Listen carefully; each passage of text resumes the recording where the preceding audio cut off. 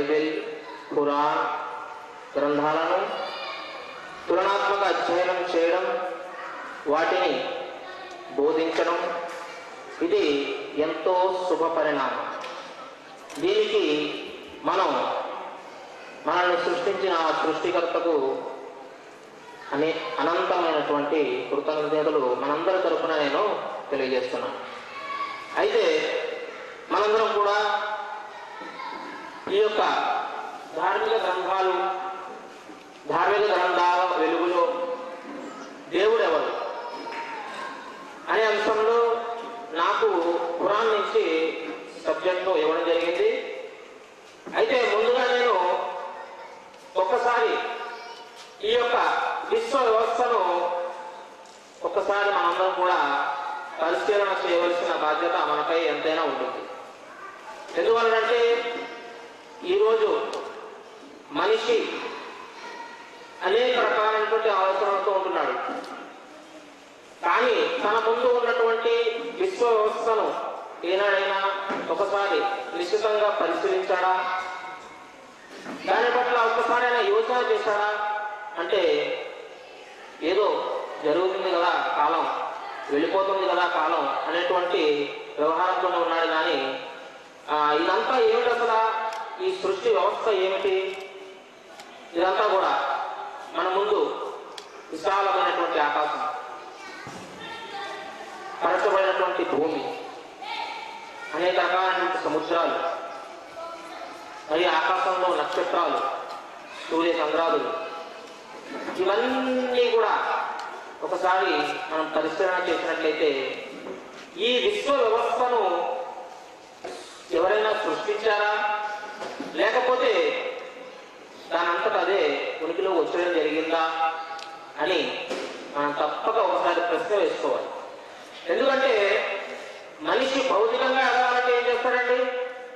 భౌతికంగా ఎదగాలంటే ఎందుకు ఏమిటి ఎలా అని ప్రశ్నలు వేస్తాడు ప్రతిదానికి కూడా. ఆ విధంగా అతను భౌతిక జీవితంలో అభివృద్ధి అనేటువంటిది సాధించడం జరుగుతుంది. అదేవిధంగా మన ఆధ్యాత్మిక గ్రంథాలైనటువంటి భగవద్గీత బైబిల్ ఖురాన్ మన ముందు ఉన్నప్పటికీ ఈ గ్రంథాలను మనం ఈ విషయంలో ఏముంది? ఇదే తెలుసుకోవడం వల్ల నాకేంటి ప్రయోజనం? అనేటువంటి భావన ఈనాడు మన సమాజంలో పొరబడింది అని చెప్పుకోవాలి. అయితే ఈ విశ్వ వ్యవస్థను సృష్టించి పరిపాలిస్తున్నటువంటి స్వామి చక్రవర్తి ఎవరైనా ఉన్నారా అంటే తప్పనిసరిగా మన మనస్సు ఇచ్చేటువంటి సమాధానం ఏమిటి అంటే తప్పనిసరిగా ఈ విశ్వ వ్యవస్థ తనంతటా తాను రాలేదండి. ఇదంతా కూడా ఈ విశ్వ వ్యవస్థను నడుపుతున్నటువంటి వాడు ఒకడు ఉన్నాడు అనే మన బుద్ధి మనకు సమాధానం అనేటువంటిది ఇవ్వడం జరుగుతుంది. అయితే ఈ విషయాన్ని దివ్య పురాణ పద్నాలుగో సూర ముప్పై రెండు నుండి ముప్పై నాలుగు వరకు మనం చూసినట్లయితే అక్కడ ఎవరైతే ఈ సృష్టిని సృష్టించి పరిపాలిస్తున్నటువంటి వాడు ఉన్నాడు. ఆయన స్వయంగా ఈ విధంగా చెప్పడం జరుగుతుంది. భూమిని ఆకాశాలను పుట్టించిన వాడు ఆకాశం నుండి నీళ్ళను కురిపించిన వాడు దాని ద్వారా ఆహారం కొరకు రకరకాల పంటలను ఫలాలను సృష్టించిన వాడు.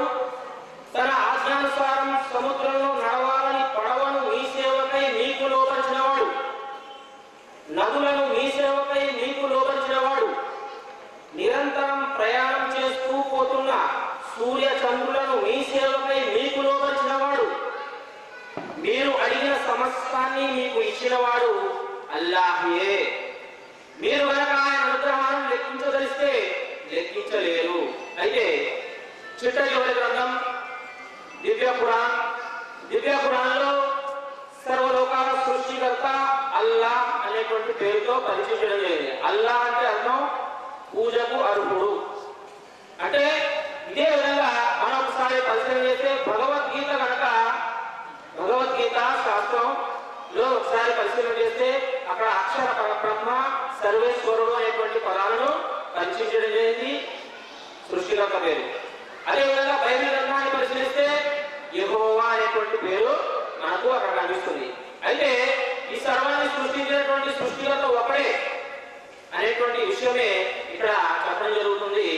అనేక మంది సృష్టికర్తలు లేరు అనేటువంటి విషయాన్ని దివ్య పురాణ్ మనకు చెప్పడం జరుగుతుంది. ఈ విషయాన్ని దివ్య పురాణ్ నూట పన్నెండవ సూర ఒకటో నుండి నాలుగు ఆయతలు మనం పరిశీలన చేసినప్పుడు అక్కడ స్పష్టంగా దేవుడు ఏ విధంగా చెప్తున్నాడు? కులుగు అల్లాహు అహద్ అల్లాహు సమద్ లం యలిద్ వలం యూలద్. వలం యకుల్ లహు కుఫువన్ అహద్? ఓ ప్రవక్త ఇలా చెప్పి ఆయన అద్వితీయుడు. ఆయన నిరపేక్షపరుడు ఆయన ఎవరి ఆధారము అక్కడ లేనివాడు. ఆయనకు సంతానము లేదు ఆయన ఎవరి సంతానము కాదు ఆయనకు సరి సమానుడు ఎవరు లేదు ఈ విధంగా స్పష్టంగా సృష్టికర్త అయినటువంటి దేవుడు మనకు స్పష్టమైనటువంటి సమాచారాన్ని చెప్పడం జరుగుతుంది.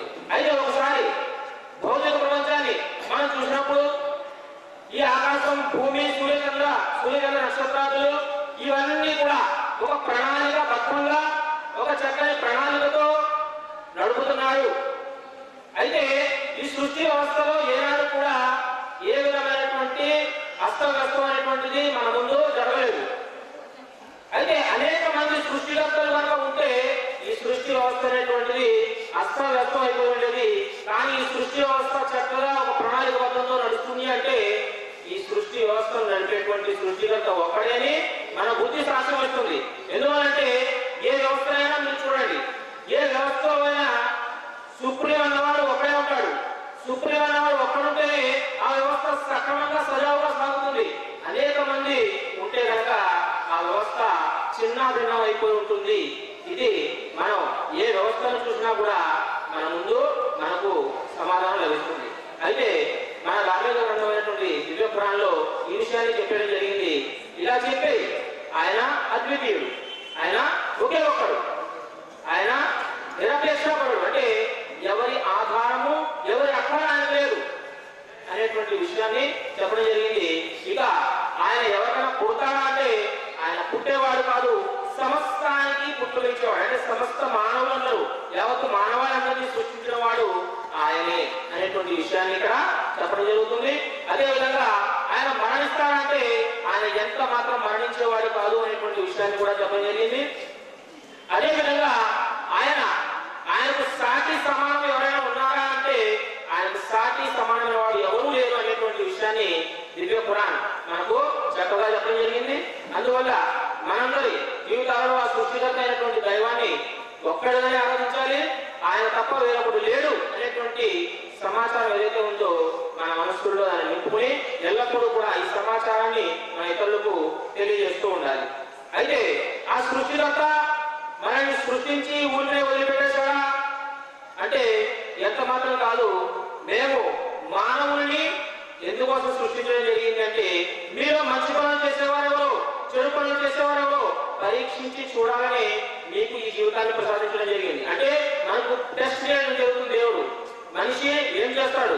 అంటే అతని ముందు ఎల్లప్పుడూ కూడా మంచి చెడు అనేటువంటిది వస్తూ ఉంటాయి. అతను మంచిని తీసుకుని వెళ్తారా లేకపోతే చెడుని తీసుకుని వెళ్తారా అనేటువంటిది దేవుడు అతనిని పరీక్షిస్తున్నాడు.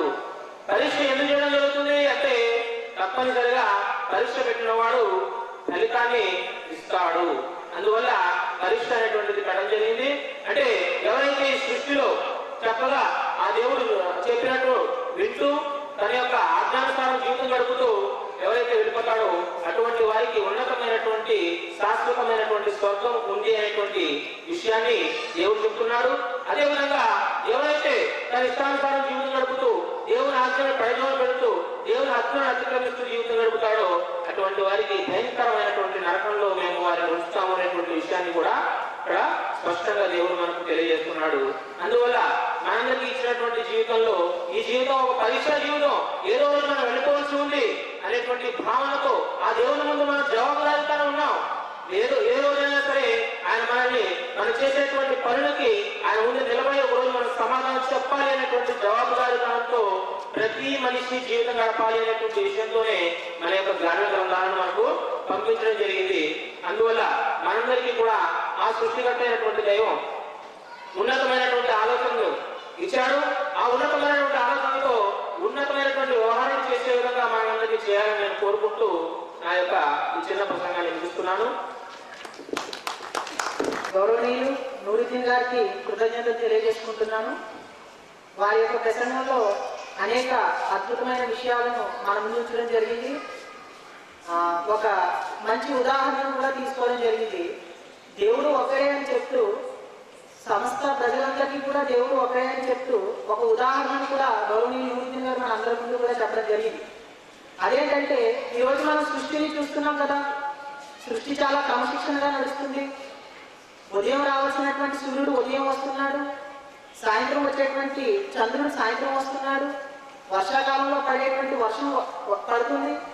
ఎండాకాలం వస్తే ఎండ పడుతుంది ఇదంతా ఒక క్రమశిక్షణగా నడుస్తుంది కాబట్టి దీనిని నడిపేవాడు కూడా ఒక్కడు ఉన్నాడని చెప్పి ఒక మంచి ఉదాహరణ ద్వారా మనందరికీ కూడా పురాణ శాస్త్రం నుండి మానవులందరికీ కూడా దేవుడు ఒక్కడే ఉన్నాడు. ఆయన అనేక భాషలలో అనేక రకాలుగా పరిచయం అయ్యాడు మరి ఆయనను ఆరాధిస్తేనే బ్రతికున్నప్పుడు మనకు మనశ్శాంతి మరణాంతర జీవితంలో మనకి స్వర్గం లభిస్తుంది అనేటువంటి విషయాలను మనందరి ముందు ఉంచినటువంటి నూరుద్దీన్ గారికి మళ్ళీ నేను కృతజ్ఞతలు తెలియజేసుకుంటున్నాను. Thank you sir. అదేవిధంగా నెక్స్ట్ ఇప్పుడు మన ముందు బైబుల్ నుండి మాట్లాడడానికి బ్రదర్ రమేష్ గారు సిద్ధంగా ఉన్నారు. కాబట్టి నేను అతనికి సమయాన్ని అప్పచెప్తున్నాను. బ్రదర్ రమేష్ గారు బయట నుండి మన మనందరి ముందు కూడా పదిహేను నిమిషాల పాటు ప్రసంగిస్తారు. మొట్టమొదటిగా సృష్టికర్త అయిన దైవానికి వేలాది వందరములు కృతజ్ఞతలు సూత్రాలు తెలియజేసుకుంటున్నానండి. అదేవిధంగా ఆ దేవుని యొక్క శాంతి శుభాలు మనందరి మీద కురవాలని ఆ దైవాన్ని నేను వేడుకుంటున్నాను. మనం మాట్లాడుకుంటున్న టాపిక్ పేరు ఏంటంటే దేవుడు ఎవరు? దేవుడు ఎవరు? అదేవిధంగా స్వర్గం అనేది పరలోకం అనేది మనకి ఎలా లభిస్తుంది? ప్రాముఖ్యమైన అంశమే కదండి. చాలా ప్రాముఖ్యమైన అంశం అండి. ఎందుకంటే నేను ఎవరిని ఆరాధిస్తున్నాను నేను ఎవరికి ప్రార్థిస్తున్నాను నేను ఎవరిని అర్చిస్తున్నాను అనే విషయం నాకు తెలియకుండా ఉంటేనండి నేను చేస్తున్న కార్యక్రమాలన్నీ కూడా నిష్ప్రయోజనం అయిపోతాయి నిష్ప్రయోజనం అయిపోతుంది అందుకని నాకు బైబిల్ దేవుడు ఎవరు పరలోకం అనేది ఎలా వస్తుంది అనే విషయాలు చెప్పడం జరిగింది. ఇప్పుడు దేవుడు ఎవరు అనే విషయాన్ని మనం ఆలోచిస్తానండి ఎందుకు బైబిల్ నుంచి కొన్ని విషయాలు నేర్చుకోవాల్సిన అవసరం ఎందుకు ఉందంటే దేవుని విషయంలో భిన్నాభిప్రాయాలు అనేవి కలిగి ఉన్నారు కాబట్టి. భిన్నాభిప్రాయాలను కలిగి ఉన్నాను. అనేక సిద్ధాంతాలని కలిగి ఉన్నాను. యేసుక్రీస్తు వారు ఒక విషయాన్ని తెలియజేస్తున్నారు దేవుని గురించి దైవం గురించి. ఏమని తెలియజేస్తున్నారంటే లుకాస్ వార్త పద్దెనిమిది అధ్యాయం పద్దెనిమిది వాక్యం. ఒక అధికారి ఆయన చూసి సద్బోధకుడా నిత్య వారికి దొరుకుతూ నేను ఏం చేయవాలని ఆయన అడిగింది. అందుకు యేసు నేను సత్పురుషుడిని ఎలా చెప్తున్నా దేవుడు ఒక్కడే తప్ప మరెవ్వరూ సత్పురుషుడు కాదు. ఇది యేసుక్రీస్తు వారు ఇస్తున్న స్టేట్మెంట్. యేసుక్రీస్తు వారు బోధిస్తున్న విషయాన్ని. నేను స్వర్గానికి వెళ్ళాలంటే ఏం చేయాలని ఒక అధికారి చేసి అడుగుతున్నప్పుడు ఏసుక్రీస్తు వారు ఏం చెప్తున్నారు? దేవుడు ఎంతమంది ఒక్కడే. దేవుడు ఎంతమంది అండి? ఒకే ఒక్కడు. ఇది ఏసుక్రీస్తు వారు ఇస్తున్న బోధ. నేటి పండితులు ఇస్తున్న బాధ ఎవరైనది దేవుళ్ళు ఎంతమంది అని మీరు ఎవరినైనా పండితుల్ని కానీ పాస్టర్స్ ఎవరిని అడిగితే కనుక ముగ్గురని చెప్తారు. ఇద్దరని చెప్తారు. కానీ ఏసిస్తున్న బాధ అలాంటిది కాదు. ఏసిస్తున్న బాధ దేవుడు ఒక్కడే దేవుడు ఒక్కడే అని యేసుక్రీస్తు వారు బోధిస్తున్నారు. మరి ఆ దేవుడు ఒక్కడే బోధిస్తున్నారు కదా. ఆ దేవుడు ఎవరు అని మనం ప్రశ్నిస్తే కనుక సమయంలో మొదటి గ్రంథం రెండో అధ్యాయం రెండో వాక్యం. ఎవరో వంటి పరిశుద్ధ దేవుడు ఒకడునూ లేడు. నీవు తప్ప మరి ఏ దేవుడునూ లేడు. దేవుడు ఎవరు అని మనం ప్రశ్నిస్తున్నప్పుడు దేవాదేవుడు ఒకే ఒక్కడున్నాడని ఆయన పేరు ఏంటంటే యహోవాని అని మనకి బైబిల్ గ్రంథంలో తెలియజేయడం అనేది జరుగుతుంది. ఆయన జనులను సజీవులుగాను మృదువుగాను చేయవాడు యహోవాయే. పాతాళములకు పంపించి అందులో నుండి రప్పించేవాడు ఆయనే. అంటే సమస్తము మరణాన్ని ఇవ్వాలన్నా జీవాన్ని ఇవ్వాలన్నా మనకి ఏదైనా చేయాలి అంటే ఎవరి అధీనంలో ఉందంటే ఒకే ఒక్కడైన దేవాల దేవుని యొక్క అధీనంలో ఉంది. ఆయన ఎవరు అంటే ఆయన యహోవ. ఆ ఒక్క దేవుని గురించి పరిచయం చేయడానికి వచ్చారండి యేసుక్రీస్తు వారు యేసుక్రీస్తు మనం ప్రశ్నిస్తున్నప్పుడు ఆ దేవుడు ఎక్కడున్నారు అని మనం ప్రశ్నిస్తున్నప్పుడు యేసుక్రీస్తు వారు చెప్తున్న సమాధానం ఏంటంటే ఆయన పరలోకంలో ఉన్నారు. మత్స్య వార్త ఇరవై మూడు అధ్యాయం తొమ్మిదో వాక్యం ప్రకారంగా. యేసుక్రీస్తు వారు భూలోకంలో ఉన్నారు. భూలోకంలో ఉన్న యేసుక్రీస్తు వారు ఆ దైవం గురించి ఏమని ప్రకటన చేశారంటే ఒకే ఒక్కడున్నారు దేవుడు అని. మొదటి విషయం. రెండో విషయం ఆయన ఎక్కడ ఉన్నారు అంటే ఆయన పరలోకంలో ఉన్నారని యేసుక్రీస్తు వారు బోధ అండి. చాలా స్పష్టంగా చెప్తారండి ఆయన బోధ. చాలా స్పష్టంగా చెప్తున్నారు. నేను సత్యంలో బోధించుతున్నాను అని అంటారు ఆయన. ఏంటి సత్యము అంటే దేవాదేవుడు ఒకే ఒక్కడున్నాడు ఆయన పరలోకంలో ఉన్నాడని విషయాల్ని చెప్పడం అనేది జరుగుతుంది ఓకే రైట్ బాగుంది ఒక్కడే యేసుక్రీస్తు వారు ఇంకేమని బోధిస్తున్నారంటే ఒకసారి మీకు నేను పరిచయం చేస్తాను. మార్కుస్ వార్త నాలుగో అధ్యాయము పన్నెండవ వాక్యం.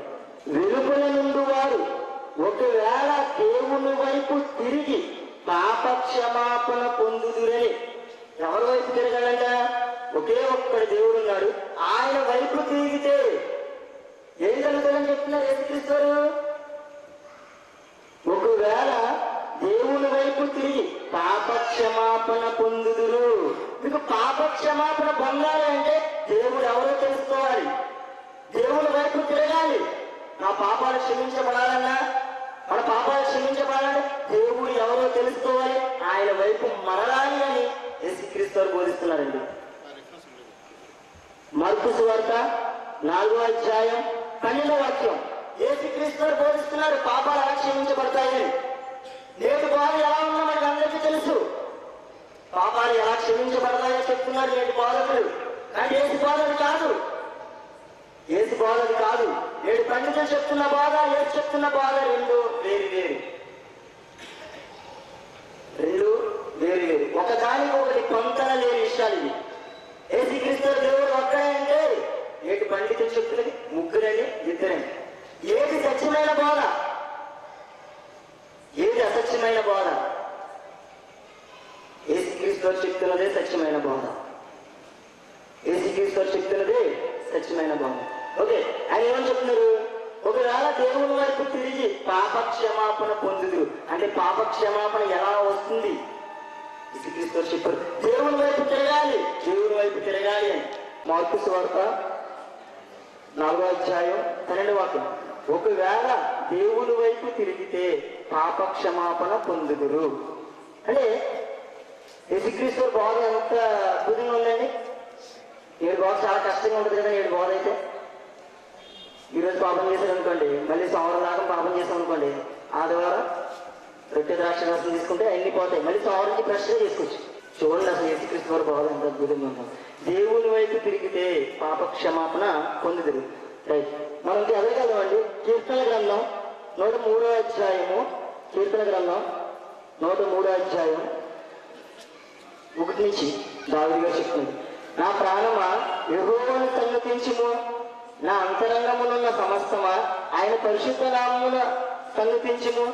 నా ప్రాణమా? యెహోవాను సంగతించుము. ఆయన చేసిన ఉపకారములలో దేనిని మరువకము ఆయన మీ దోషములన్నిటినీ క్షమించుకోడండి అది యేసుక్రీస్తు దేవుని వ్యక్తులమన్నారు విభవాన్ని సంగతిస్తే ఈ దోషములన్నింటినీ క్షమించేవాడు. ఎవరు? యహోవాని సంగతించాలి. యహోవాని ఆరాధించాలి. ఒకే ఒక్క దేవుడు ఒకే ఒక్క సృష్టికర్త ఏకైక దేవుడు. యేసుక్రీస్తు ప్రచారం చేసిన దేవుడు. ఒకే ఒక్క దేవుడు. ఆయన్ని ఆరాధించాలి ఆయన్ని సన్నిధించాలి అలా సన్నిధిస్తానంట చివరిగా చెప్తారు ఆయన అంటే సృష్టికర్తైన దేవాది దేవుడు. నీ దోషములన్నింటినీ క్షమించేవాడు. నీ దోషములన్నింటినీ క్షమించేవాడు. అందుకే యేసుక్రీస్తు చెప్తున్నారు. నువ్వు దేవుని వైపు తిరగమని ప్రాముఖ్యత ఎందుకు ఇచ్చారు యేసుక్రీస్తు వారు ఆయన మనల్ని సృష్టించారు కాబట్టి. సృష్టికర్తన దేవాల దేవుడు మనల్ని సృష్టించాడు. అదేవిధంగా మన పాపాలను క్షమించే అధికారము కూడా ఏకైక దేవుడైన సృష్టికర్తన దేవాల దేవుడు అధీనంలో ఉంది. అది దావిది భక్తులు చెప్తున్నారు. మోక్షం ఎలా వస్తుంది? స్వర్గం ఎలా వస్తుంది? మన పాపాలు ఎలా క్షమించబడతాయి? అనేది ఏసుక్రీస్తు ఇస్తున్న ఏలు బాగా గమనించవలసిన అవసరం ఎంతైనా ఉంది. రైట్ ఇంకా ఎవరు చదవండి. హేజ్కేల్ గ్రంథం పద్దెనిమిదో అధ్యాయము ఇరవై మూడో వాక్యం. హేజ్కేల్ గ్రంథం పద్దెనిమిదో అధ్యాయము చదువుతానండి. చూడండి. స్వర్గం అంటే ఎలా వస్తుంది? అయితే అయితే దుష్టుడు తాను చేసిన పాపములన్నిటినీ విడిచి ఆ కట్టడలను అనుసరించి నీతిని అనుసరించి న్యాయము జరిగించిన ఎడల అతడు మరణము నందడు అదేంటండి లోకంలో అందరూ మరణిస్తారు కదా? మరణము నందడని చెప్తుంది బైబిల్. ఎప్పుడు? దేవుని యొక్క ఆజ్ఞలు గైకున్నవాడు ఏ మరణాన్ని పొందడు ఇహలోకంలో మరణం గురించి మాట్లాడతలా? శాశ్వతమైన ఒక స్వర్గం అవుతుంది శాశ్వతమైన అతి భయంకరమైన నరకం అవుతుంది ఆ మరణానికి భయంకరమైన మరణానికి వెళ్ళకుండా శాశ్వతమైన స్వర్గానికి వెళ్తాడు. ఏ వ్యక్తి వెళ్తాడు? చెప్తున్నారు ఏ వ్యక్తి వెళ్తాడు? దుష్టుడు. దుష్టుడు వెళ్తాడు. ఇప్పుడు తెలుసండి తన పాపములన్నింటినీ విడిచిపెట్టాలి. విడిచిపెట్టిన తర్వాత నా కట్టడలు అనుసరించి నీతిని అనుసరించి న్యాయము జరిగించిన ఎడల అతడు మరణమునందుడు. ఆవశ్యకముగా అతడు బ్రతుకును. అతడు చేసిన అపరాధములు ఒకటియు. ఒకటి కూడానండి ఒకటియు. జ్ఞాపకములోనికి రాదు జ్ఞాపకంలోనికి తీసుకురాను అని దేవుడు చెప్తున్నాడు. ఈ పాపాన్ని క్షమిస్తానని దేవుడు చెప్తున్నాడు. ఇప్పుడు ఇప్పుడు క్షమిస్తానంటాడు దేవుని యొక్క ఆజ్ఞను ఉన్నప్పుడు మొదటి ఆజ్ఞ మోషకి ఇచ్చిన ఆజ్ఞ ఏంటండి? నేను యెహోవాని నేను తప్ప వేరొక దేవుడు లేదు. పైన ఆకాశం అందే కానీ కింద భూమి అందే కానీ భూమి కింద నేల అందే కానీ ఏ రూపంలోనూ చేసుకోకూడదని చెప్పారు. మొదటి ఆజ్ఞలోనే చాలా మంది క్రైస్తవులు చాలా మంది పండితులు తప్పిపోయారు. ఎలా చెప్తున్నారు మీరు? నన్ను అడగచ్చు. బైబిల్ చెప్తుంది. నేను చెప్పట్లా? దేవుడు ఏం ఏసుక్రీస్తు బోధిస్తుంటే నేను మీరేం బోధిస్తున్నారు? చూడండి ఒకసారి. ఇద్దరు దేవుళ్ళని బోధిస్తున్నారా? ముగ్గురు దేవుళ్ళని బోధిస్తున్నారా? ఏసు బాధని క్రాస్ చేసుకుని ఎవరికి వెళ్తున్నారు? ఏసు బాధని క్రాస్ చేసుకుని ఏసుకన్నా ఎక్కువ తెలుసు అనమాట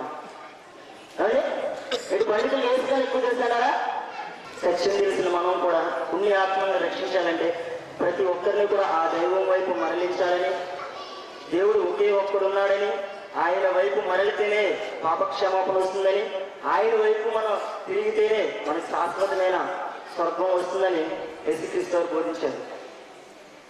మొదటి స్వర్గ పన్నెండు అధ్యాయులు ఎనిమిది వాక్యం ప్రకారంగా. అక్కడ కూడా చెప్పడం జరిగింది. దేవుడు ఒక్కడే పూర్ణ హృదయంతో ఆరోపించమన్నారు మళ్ళీ ఇంకా డౌట్ లేదు. మళ్ళీ ఏసీ పెట్టుకుంటే డౌట్. ఇంకా డౌట్ లేదు. దేవుడు ఒకే ఒక్కడున్నాడు. ఆయన అద్వితీయుడు. ఆయనే సృష్టికర్త. ఆయనే యహోవా. ఇంకెవరిని పెట్టడం ఆయన ప్లేస్లో ఆయన స్థానం ఎవరిని పెట్టకూడదు. ఇది యేసుక్రీస్తు ఇచ్చిన ఇస్తున్న స్టేట్మెంట్ యేసుక్రీస్తు వారు బోధన ఒకవేళ క్రాస్ చేస్తే చూడండి. క్రాస్ చేస్తూ వచ్చే పరి పర్యావసనం వ్యవహార వార్త ఎనిమిదో అధ్యాయం నలభై రెండవ వాక్యం యేసు వారితో ఇట్లని అంటే యూట్యూబ్తో చెప్తున్న విషయాన్ని దేవుడు మీ తండ్రి అయిన ఎడల మీరు నన్ను ప్రేమించరు నేను దేవుని యొక్క నుండి బయలుదేరి వచ్చి ఉన్నాను నా అంతటి నేనే వచ్చి ఉండలేదు ఆయన నన్ను పంపింది అంటే సృష్టికర్తల దేవాది దేవుడు వేసి లోకాన్ని పంపాడు నశించిపోతే ఆత్మను రక్షించడం కొరకు. ఎవరు పంపారు? దేవుడు పంపారు. రైట్ మీరు ఎలా నా మాటలు గ్రహింపకున్నారు? నేను చెప్పిన వాళ్ళు ఎందుకు గ్రహించట్లేదు మీరు? అని యేసుక్రీస్తు ప్రశ్నిస్తున్నారు. ప్రశ్నించో పూజ చేస్తున్నారు హెచ్చరిక చేస్తారండి యేసుక్రీస్తు మీరు నా బోధ విననేరకుండుట వల్లే కదా. యేసుక్రీస్తు బోధ ఒకసారి గ్రహించట్లేదండి దేవుడు ఒక్కడే దేవుడు ఒక్కడే దేవుడు ఒక్కడే. ఆయన వైపు మరలండి ఆయన వైపు మరలండి. పాపాలు క్షమించబడతాయి యేసుక్రీస్తు బాధ అయితే నా బాధ మీరు వినలేకపోయినట్లే కదా. అయితే ఇప్పుడు చెప్తున్నా చూడండి ఆయన ఇస్తున్న స్టేట్మెంట్ మీరు మీ తండ్రి యొక్క అపవాది సంబంధులు. నేను అన్నానుకోండి వేరేలా ఉంటుంది ఇప్పుడు ఏం శిక్షిస్తారు అన్నారు మీరు నా బాధను గ్రహించట్లా. నేను చెప్పిన మాట నేను వినగలా ఏమన్నారు? మీరు మీరు కనుక నా మాట వినకపోతే అంటే ఏసీ మాట కనుక వినకపోతే ఏ దేవుడు బోధించాడు దేవుడు ఒక్కడైనా బోధించాడు. ఆ మాటని ఏసు పరలోకంలో ఉన్నాడు. ఎవరైనా సరే ఈ మాటని విశ్వసించకపోతే దేవుడు ఒక్కడైనా విశ్వసించకపోతే కనుక ఏమంటున్నారు? మీరు మీ తండ్రి యొక్క అపవాద సంబంధులు. ఏమనండి మీ తండ్రి దురాస్తులు నెరవేర్చుకొచ్చున్నారు. ఆది నుండి వాడు నరహంతుకుడు అయ్యండి సత్యమందు నిలిచిన వాడు కాడు వాని ఎందు సత్యమే లేదు. వాడు అబద్ధకుడైనప్పుడు తన స్వభావం అనుసరించుటే మాట్లాడు వాడు అబద్ధకుడును అబద్ధకములకు అబద్ధకమునకు జనకుడినై ఉన్నాడు నేను సత్యమునే చెప్తున్నాను. కనుక మీరు నన్ను నమ్మరు. నేను సత్యమును బోధిస్తున్నాను యేసుక్రీస్తు చెప్తున్నారు. యేసు మాటని నమ్మరు అని యేసుక్రీస్తు చెప్తున్నారు. నేటి పండితుల దగ్గర ఎంతో మంది దగ్గర బాబు యేసుక్రీస్తు చెప్తారా అంటే నమ్ముతారా నమ్ముతున్నారా? నమ్మడం నమ్మడం అప్పుడు ఏమంటున్నారు యేసుక్రీస్తారు మీరు మీ తండ్రి యొక్క అపవాది సంబంధాన్ని హెచ్చరిక చేస్తున్నారు. ఎప్పుడో తెలుసా? ఏసు మాట వినకపోయినా ఏసు బాగులో కనుక లేకపోయినా ఏసు బాగు ఏం లేదు రెండు నిమిషాలు చెప్పేసి నువ్వు చేస్తున్నావు దేవుడు దేవుడు ఒక్కడే ప్రకటించారు మనం కూడా దేవుడు ఒక్కడే ప్రకటించి ఆయన వైపు కొంతమందినైనా మరణించాలి. మొదటి విషయం. రెండో విషయం ఏంటంటే ఆయన వైపు మరలితేనే నా పాపాలు అనేవి క్షమించబడతాయి. అందరి పాపాలు అనేవి క్షమించబడతాయి. శాశ్వతమైన స్వర్గం కూడా ప్రాప్తిస్తుంది. మనందరం కూడా మనందరికీ దేవుడు జ్ఞానాన్ని శక్తిని బలాన్ని ఇవ్వాలని చిన్న వాక్యాన్ని నిర్మిస్తున్నాను రమేష్ గారికి నా హృదయపూర్వక కృతజ్ఞత తెలియజేస్తున్నాను. కాకినాడ నుంచి చేసిన మోహన్ గారిని భగవద్గీత నుండి తన యొక్క ప్రసంగాన్ని వినిపించవలసిందిగా కోరుతున్నాను. సకల చరాచర సృష్టికి మూలాధారుడు మనందరి జనన మరణాలకు కారకుడు పాలకుడు పోషకుడైనటువంటి సర్వ సృష్టికర్త అయిన సర్వేశ్వరుని పేరుతో ప్రారంభిస్తున్నాను. ముందుగా వేదికను అలంకరించినటువంటి గౌరవనీయుల పెద్దలకు మరియు ఈ కార్యక్రమానికి చేసినటువంటి సోదర సోదరులందారా మనందరిపై కూడా భగవంతుని యొక్క కారుణ్యము శాంతి శుభాలు వర్షించుగాక. అయితే ఈనాడు ఇవ్వబడినటువంటి అంశం ఏమిటండి? ధార్మిక గ్రంథాలలో దేవుడు ఎవరు? ముక్తి మోక్షాలు ఎలా లభిస్తాయి? అనేటువంటి ఒక అంశం మీద మనం మాట్లాడుకుంటాం అయితే ధార్మిక గ్రంథాలలో దేవుడు ఎవరు అనేటువంటి విషయాన్ని పరిశీలించే ముందు మనం ఒకసారి ఆలోచించామండి ఎందుకంటే మనిషి ప్రతి విషయం గురించి ఆలోచన చేస్తున్నాడు ఈరోజు ఎందుకంటే దేవుడు కూడా మనిషిని ఆలోచింపజేసేవాడుగానే పుట్టాడు కాబట్టి. వేదం ఏమంటుందంటే మత్వా కర్మాని సీరతీస మానవ మననాత్ మనుష్య అంటే ఆలోచించి కర్మ చేసేవాడే మానవుడు.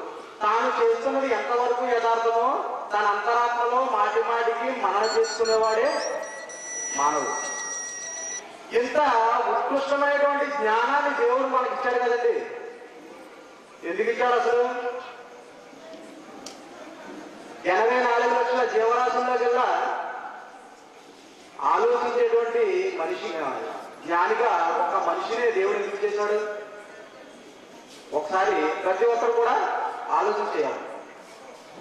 ఎందుచేతంటే ఆలోచించేవాడిగా మనిషిని చేశాడు. ఎందుచేతంటే నేను నన్ను పుట్టించినటువంటి సృష్టికర్త ఎవరు అనేటువంటి విషయాన్ని గ్రహిస్తాడని కానీ ఈరోజు మనిషి అది ఆలోచిస్తున్నాడండి?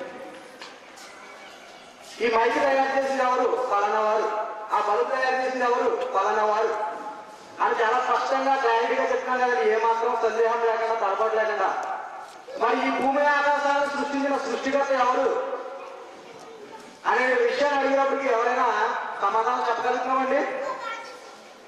అంత స్పష్టమైనటువంటి సమాధానం ఈనాడు మన దగ్గర లేదు. ఆ ఎవరైతే ఏముందండి ఎవరో తయారు చేసుకుంటారు.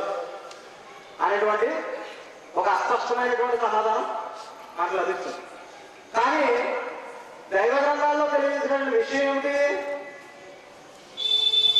అంటే ఒకసారి మన ఐదవ గ్రంథాలైనటువంటి శ్వేతస్వత్ర ఉపనిషత్తు ఒకటో అధ్యాయము ఒకటో మంత్రాన్ని పరిశీలన చేసినప్పుడు అక్కడ అన్నాడు ఓం బ్రహ్మవాదినో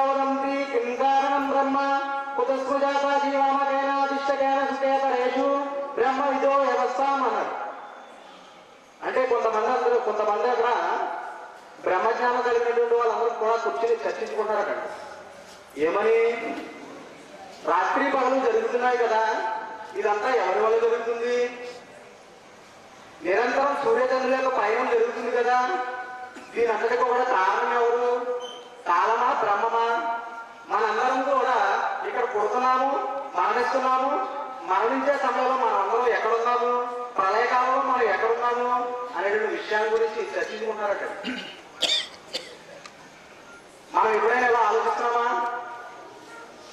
అక్కడ అన్నాడు కిం కారణం బ్రహ్మ. ఎవరు? ఎవరు? ఎవరు? ఆ సృష్టికర్త ఎవరు? ఆయన విషయాన్ని అక్కడ ప్రశ్నించుకుంటారండి కానీ ఈనాడు మనిషి యొక్క ఆలోచన ఎలా ఉంది? ఉదయం లేచిన మొదలు పెట్టాలి తాగేసాం టిఫిన్ చేసేసాం ఈరోజు ఎంత దాచుకున్నాం ఎంత దోచుకున్నాం? ఇదే ఆరాటంలో జీవితాన్ని గడుపుతూ గడుపుతూ ఓ నాడు ఎక్కడ వెళ్ళిపోతున్నాడండి? ఈ యొక్క ప్రపంచాన్ని విడిచి మరీ వెళ్ళిపోతున్నారు కానీ మనిషి దానికోసమే వచ్చాడా? ఎంత మాత్రం కూడా కాదు. ఎందుకంటే భగవద్గీత అధ్యాయం భగవద్గీత శాస్త్రము రెండవ అధ్యాయం పన్నెండవ శ్లోకంలో అవినాశుడు తద్విద్య అన్నాడు. వినాశములైనటువంటి దేవుడు ఎవరైతే ఉన్నారో ఆయన్ని తెలుసుకోవడానికి మాత్రమే నువ్వు వచ్చావు. మరి ఆయన తెలుసుకోకుండా మనం వెళ్ళిపోతే? ఈ యొక్క జీవితం? వ్యర్థమైపోతుంది కాబట్టి సృష్టికర్త ఎవరు అనేటువంటి ఒక విషయాన్ని మనం యథార్థంగా తెలుసుకోవాలి. ఎందుకంటే ఇక్కడ జీవితం అనేటువంటిది కొన్నాళ్ళ జీవితమే.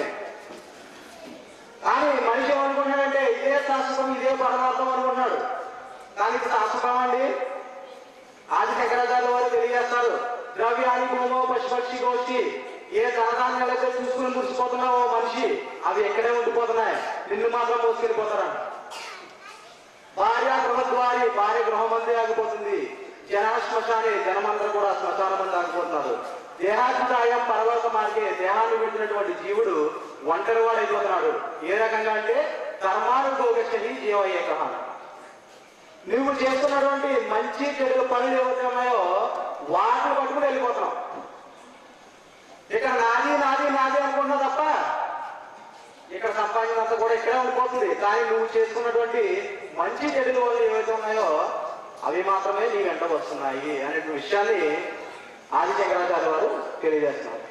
ఈ విషయాన్ని ప్రభుత్వాలు కూడా అనేక సందర్భాల్లో తెలియజేశారండి.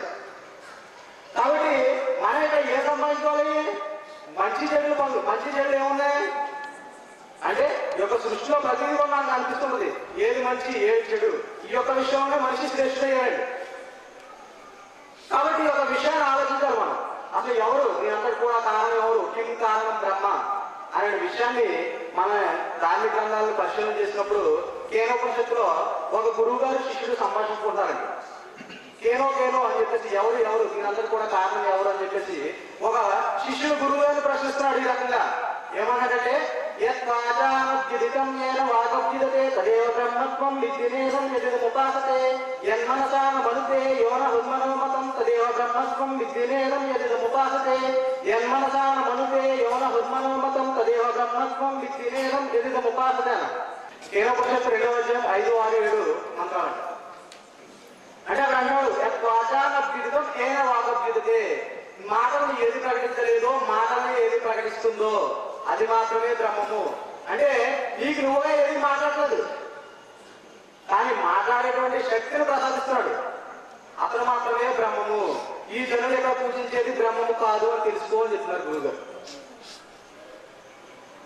ఇంకా ఎన్నేమన్నారు నీ యొక్క మనసు చేత గ్రహింపశక్యము కానిది మనస్సును మాత్రమే గ్రహించేది. అది మాత్రమే బ్రహ్మము. ఈ జనులు ఇక్కడ పూజించేది బ్రహ్మము కాదు అని తెలుసుకో. ఇంకా అన్నారు యక్షిషణ పశ్యతి యోన చక్షుంషి పశ్యతి నీ యొక్క కళ ఏదైతే చూస్తున్నావో అది భగవంతుడు కాదు కానీ నీకు చూసేటువంటి శక్తిని ప్రసాదిస్తున్నాడు అతను మాత్రమే బ్రహ్మము అనేటువంటి విషయాన్ని కేనోపనిషత్తులో చాలా స్పష్టంగా తెలియజేస్తాడు ఈ రకంగా మనం దైవాన్ని తెలుసుకోవాలి ఎందుకే ఆ దైవానికి ఉండేటువంటి క్వాలిటీస్ ఏంటండి ఆ దేవుడు ఒక్కరే అనేటువంటి విషయాన్ని అందరూ చెప్తున్నారు ఈరోజు హిందువులు అడిగినా ముస్లింలు అడిగినా క్రైస్తవులు అడిగినా ఎవరు చూసినా మా దేవుడు మీ దేవుడు ఎవరయ్యా అంటే ఒక్కడేనండి. ఆ దేవుడు ఎవరండి అంటే మేము అనుకున్నటువంటి వ్యక్తే ఆ దేవుడు అంటారు. బాగా గంగాధర అన్నారు? దేవుడా రక్షించి ఈ లోకాన్ని లక్షలాది దేవుడు అన్నారు ఈరోజు వీరికి ఒక దేవుడు కులానికి ఒక దేవుడు మతానికి ఒక దేవుడు వర్గానికి ఒక దేవుడు ఇంట్లో నలిగి ఉంటే నలుగురికి నాలుగు దేవుడు అంతమంది దేవుడు వస్తే ఈరోజు సమాజంలోకి ఎలా ఎలా తెలుసుకోవాలి దేవుడు అంటే దీనికి ఒకే ఒక ఆధారం ఉందండి. ఒక గోడ ఎంత హైట్ ఉందండి దానికి ప్రమాణం ఏంటండి? దానికి ఒక టేప్ కావాలి. ఒక వస్తువు ఎంత బరువు ఉందో తెలుసుకోవడండి దానికి కాటా కావాలి. ఒక వ్యక్తికి జ్వరం ఎంత వచ్చిందంటే అతనికి జ్వరమాని కావాలి. ఇలా ప్రతిదానికి ఒక ప్రమాణంతో ఉంది కదా. మరి నీ యొక్క దేవుడు ఎవరు? అనే విషయాన్ని తెలుసుకోవాలంటే నువ్వేం చేయాలి ఫస్ట్? ప్రతిదానికి కూడా ఒక్కొక్క ప్రమాణం ఉన్నట్టుగానే దేవుణ్ణి తెలుసుకోవడానికి కూడా ప్రమాణం ఉందండి. అదేంటంటే భగవద్గీత శాస్త్రం పదహారవ అధ్యాయం ఇరవై నాలుగవ శ్లోకంలో అంటాడు. తస్మాత్ శాస్త్రం ప్రమాణంతే కార్యకార్య వ్యవస్థతో జ్ఞాపనాశాస్త్ర విధానోక్తం కర్మకర్తు నిహరసి అని. అంటే నువ్వు ఏది చేయాలనుకున్నా ఏది చేయకూడదనుకున్నా నీకు శాస్త్రం ప్రమాణం ఉంది. శాస్త్రము ఏదైతే చెప్పిందో దాన్ని అనుసరించి ఈ ప్రపంచంలో కర్మం చేయాలి. అంటే శాస్త్రం ఏదైతే చెప్తుందో అది చేయాలి. శాస్త్రం వద్దంటే దాన్ని మానేది తస్మాత్ శాస్త్రం ప్రమాణిస్తే. ఈ యొక్క విషయంలో నువ్వు శాస్త్రాన్ని ప్రమాణం చేసుకోవాలి. అయితే ఆ యొక్క శాస్త్రాలు ఏమని తెలియజేస్తున్నాయి? భగవంతుడి గురించి అంటే అధర్వణ వేదము పదమూడవ మండలం మూడవ సూక్తం పదహారు నుండి ఇరవై ఒకటవ మంత్రాల్లో అంటున్నాడు. ఏమన్నాడంటే నా ద్వితీయో నా తృతీయ చతుర్థో నా ప్యూజ్యతే నా పంచమో నా షష్ఠ సప్తమో నా ప్యూజ్యతే నా అష్టమో నా నవమో దశమో నా ప్యూజ్యతే తమిదం నిగదం సహ శయేష ఏక ఏవ. ఏక ఏక రుత్ ఏక ఏవ.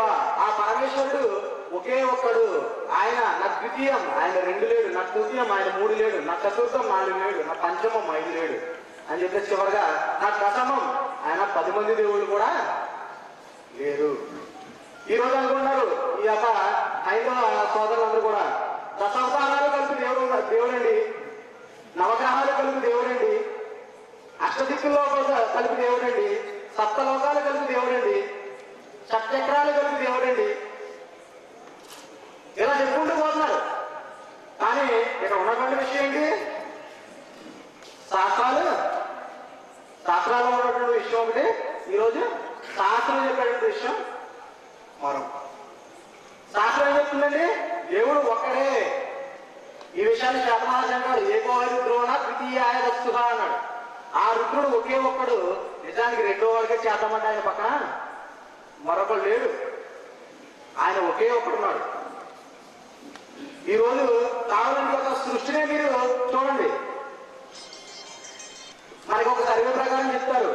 మూడు కోట్ల ఇరవై ఏడు లక్షల ఐదు వందల డెబ్బై నాలుగు చదరపు మీటర్లు కలిగినటువంటి ఈ భూమి ఒక లక్ష ఇరవై ఏడు వేల కిలోమీటర్ల వేగంతో తిరుగుతుంది అంటే దీనిని తిప్పేటువంటి వారు ఎంతమంది? ఒక బస్సుకి ఇద్దరు డ్రైవర్లు ఉన్నారనుకోండి ఏమైపోతుంది?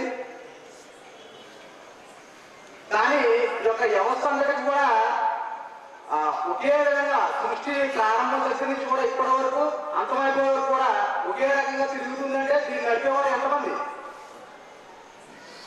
ఒకసారి ఆలోచించాలి. సూర్యుడు ఎప్పుడు ప్రారంభం నుంచి తూర్పునే ఉదయిస్తున్నాడు. మళ్ళీ పరమట్నే అస్తమిస్తున్నాడు. ఈ యొక్క వ్యవస్థలో ఏమైనా లోపం ఉందా? లేదు. ఎందుకంటే దాన్ని నిర్మించినటువంటి కర్త ఒకడే కాబట్టి. కానీ ఈనాడు అలా ఉండండి సమాజం. దేవుడి విషయంలో ఈ దేవుడి మీదే మా దేవుడు మాదే అనేటువంటి విషయంలో వెళ్ళిపోతాం కాదు కాబట్టి దైవ గ్రంథాల్లో ఉన్నటువంటి విషయం ఏంటి? దేవుడు అనేటువంటి వాడు ఒక్కడే. మరి ఆయన ఎలా ఉన్నాడు? అంటే ఓం జన్మరహిత జన్మ ప్రదాత అన్నాడు వేదంలో. అంటే ఆయన పుట్టించేవాడు తప్ప పుట్టేవాడు కాదు. చాలా మంది అంటుంటారు ఆ, గత నెలలోనండి మా దేవుడు పుట్టాడని అంటాడు. అయితే మా దేవుడు నమ్ముకోయా? అంతకన్నా ముందు నెలలో మా దేవుడు పుట్టాడని అంటాడు ఏమండి కానీ దైవగ్రంథం ఏం చెప్- ఏం చెప్తుంది జన్మరహిత జన్మ ప్రదాత దేవుడు అనేటువంటి వాడు పుట్టుకు ఇస్తాడు తప్ప ఆయన మాత్రం పుట్టాడు. ఇంకా ఆయన ఎలా ఉన్నాడు? కంటికి కనబడిన వాడే ఉన్నాడు. కఠోపనిషత్ ఆరో అధ్యాయం తొమ్మిదో మాత్రం అంటాడు. నా సందృశ్య తిష్టతి రూపమత్య నక్షుష చక్షుష కచ్చనాయనం ఈ యొక్క కళ్ళతో ఆయన ఎవరూ చూడలేదు అన్నాడు. చూపులు ఆయన అందుకోలేదు. అని చెప్పేసి కఠోపనిషత్తులో చాలా స్పష్టంగా తెలియజేశాడు. కాబట్టి దేవుడు అనేటువంటి వాడు ఒక్కడు. ఆయన పుట్టడు ఆయన కనిపించడు ఆయన మరణించడు. ఆయన విషయాన్ని మన వేద శాస్త్రాలు ఉపనిషత్తులు భగవద్గీత ప్రకారంగా తెలుస్తున్నాయి. ఈ రకంగా దైవాన్ని తెలుసుకుంటే మనకి ముక్తి మోక్షాలు లభిస్తాయి.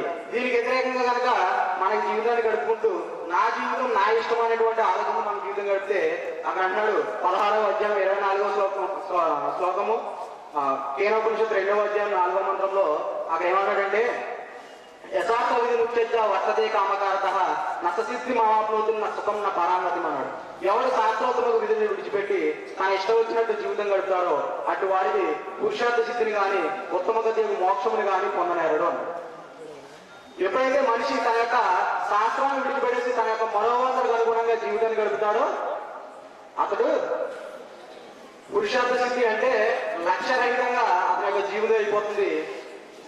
ఇంకా మరణానంతరం కూడా మోక్షానికి పొందే అవకాశం అతనికి ఎంత మాత్రం కూడా లేదు. ఈ విషయాన్ని ఆ, కేనోపనిషత్ రెండవ అధ్యాయ నాలుగో మంత్రంలో కూడా అంటాడు.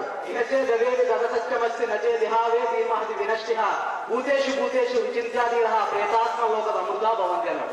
ఎవరైతే ఈ యొక్క మానవ జన్మయందు ఆ పరమాత్మను గురించి తెలుసుకుంటున్నారో అట్టి వారు అమృతత్వం పొందుతున్నారు ఎవరైతే తెలుసుకుని జాలకున్నారో వారికి గొప్ప వినాశం కలుగుతున్నది అనే విషయాన్ని అక్కడ తెలియజేశారు.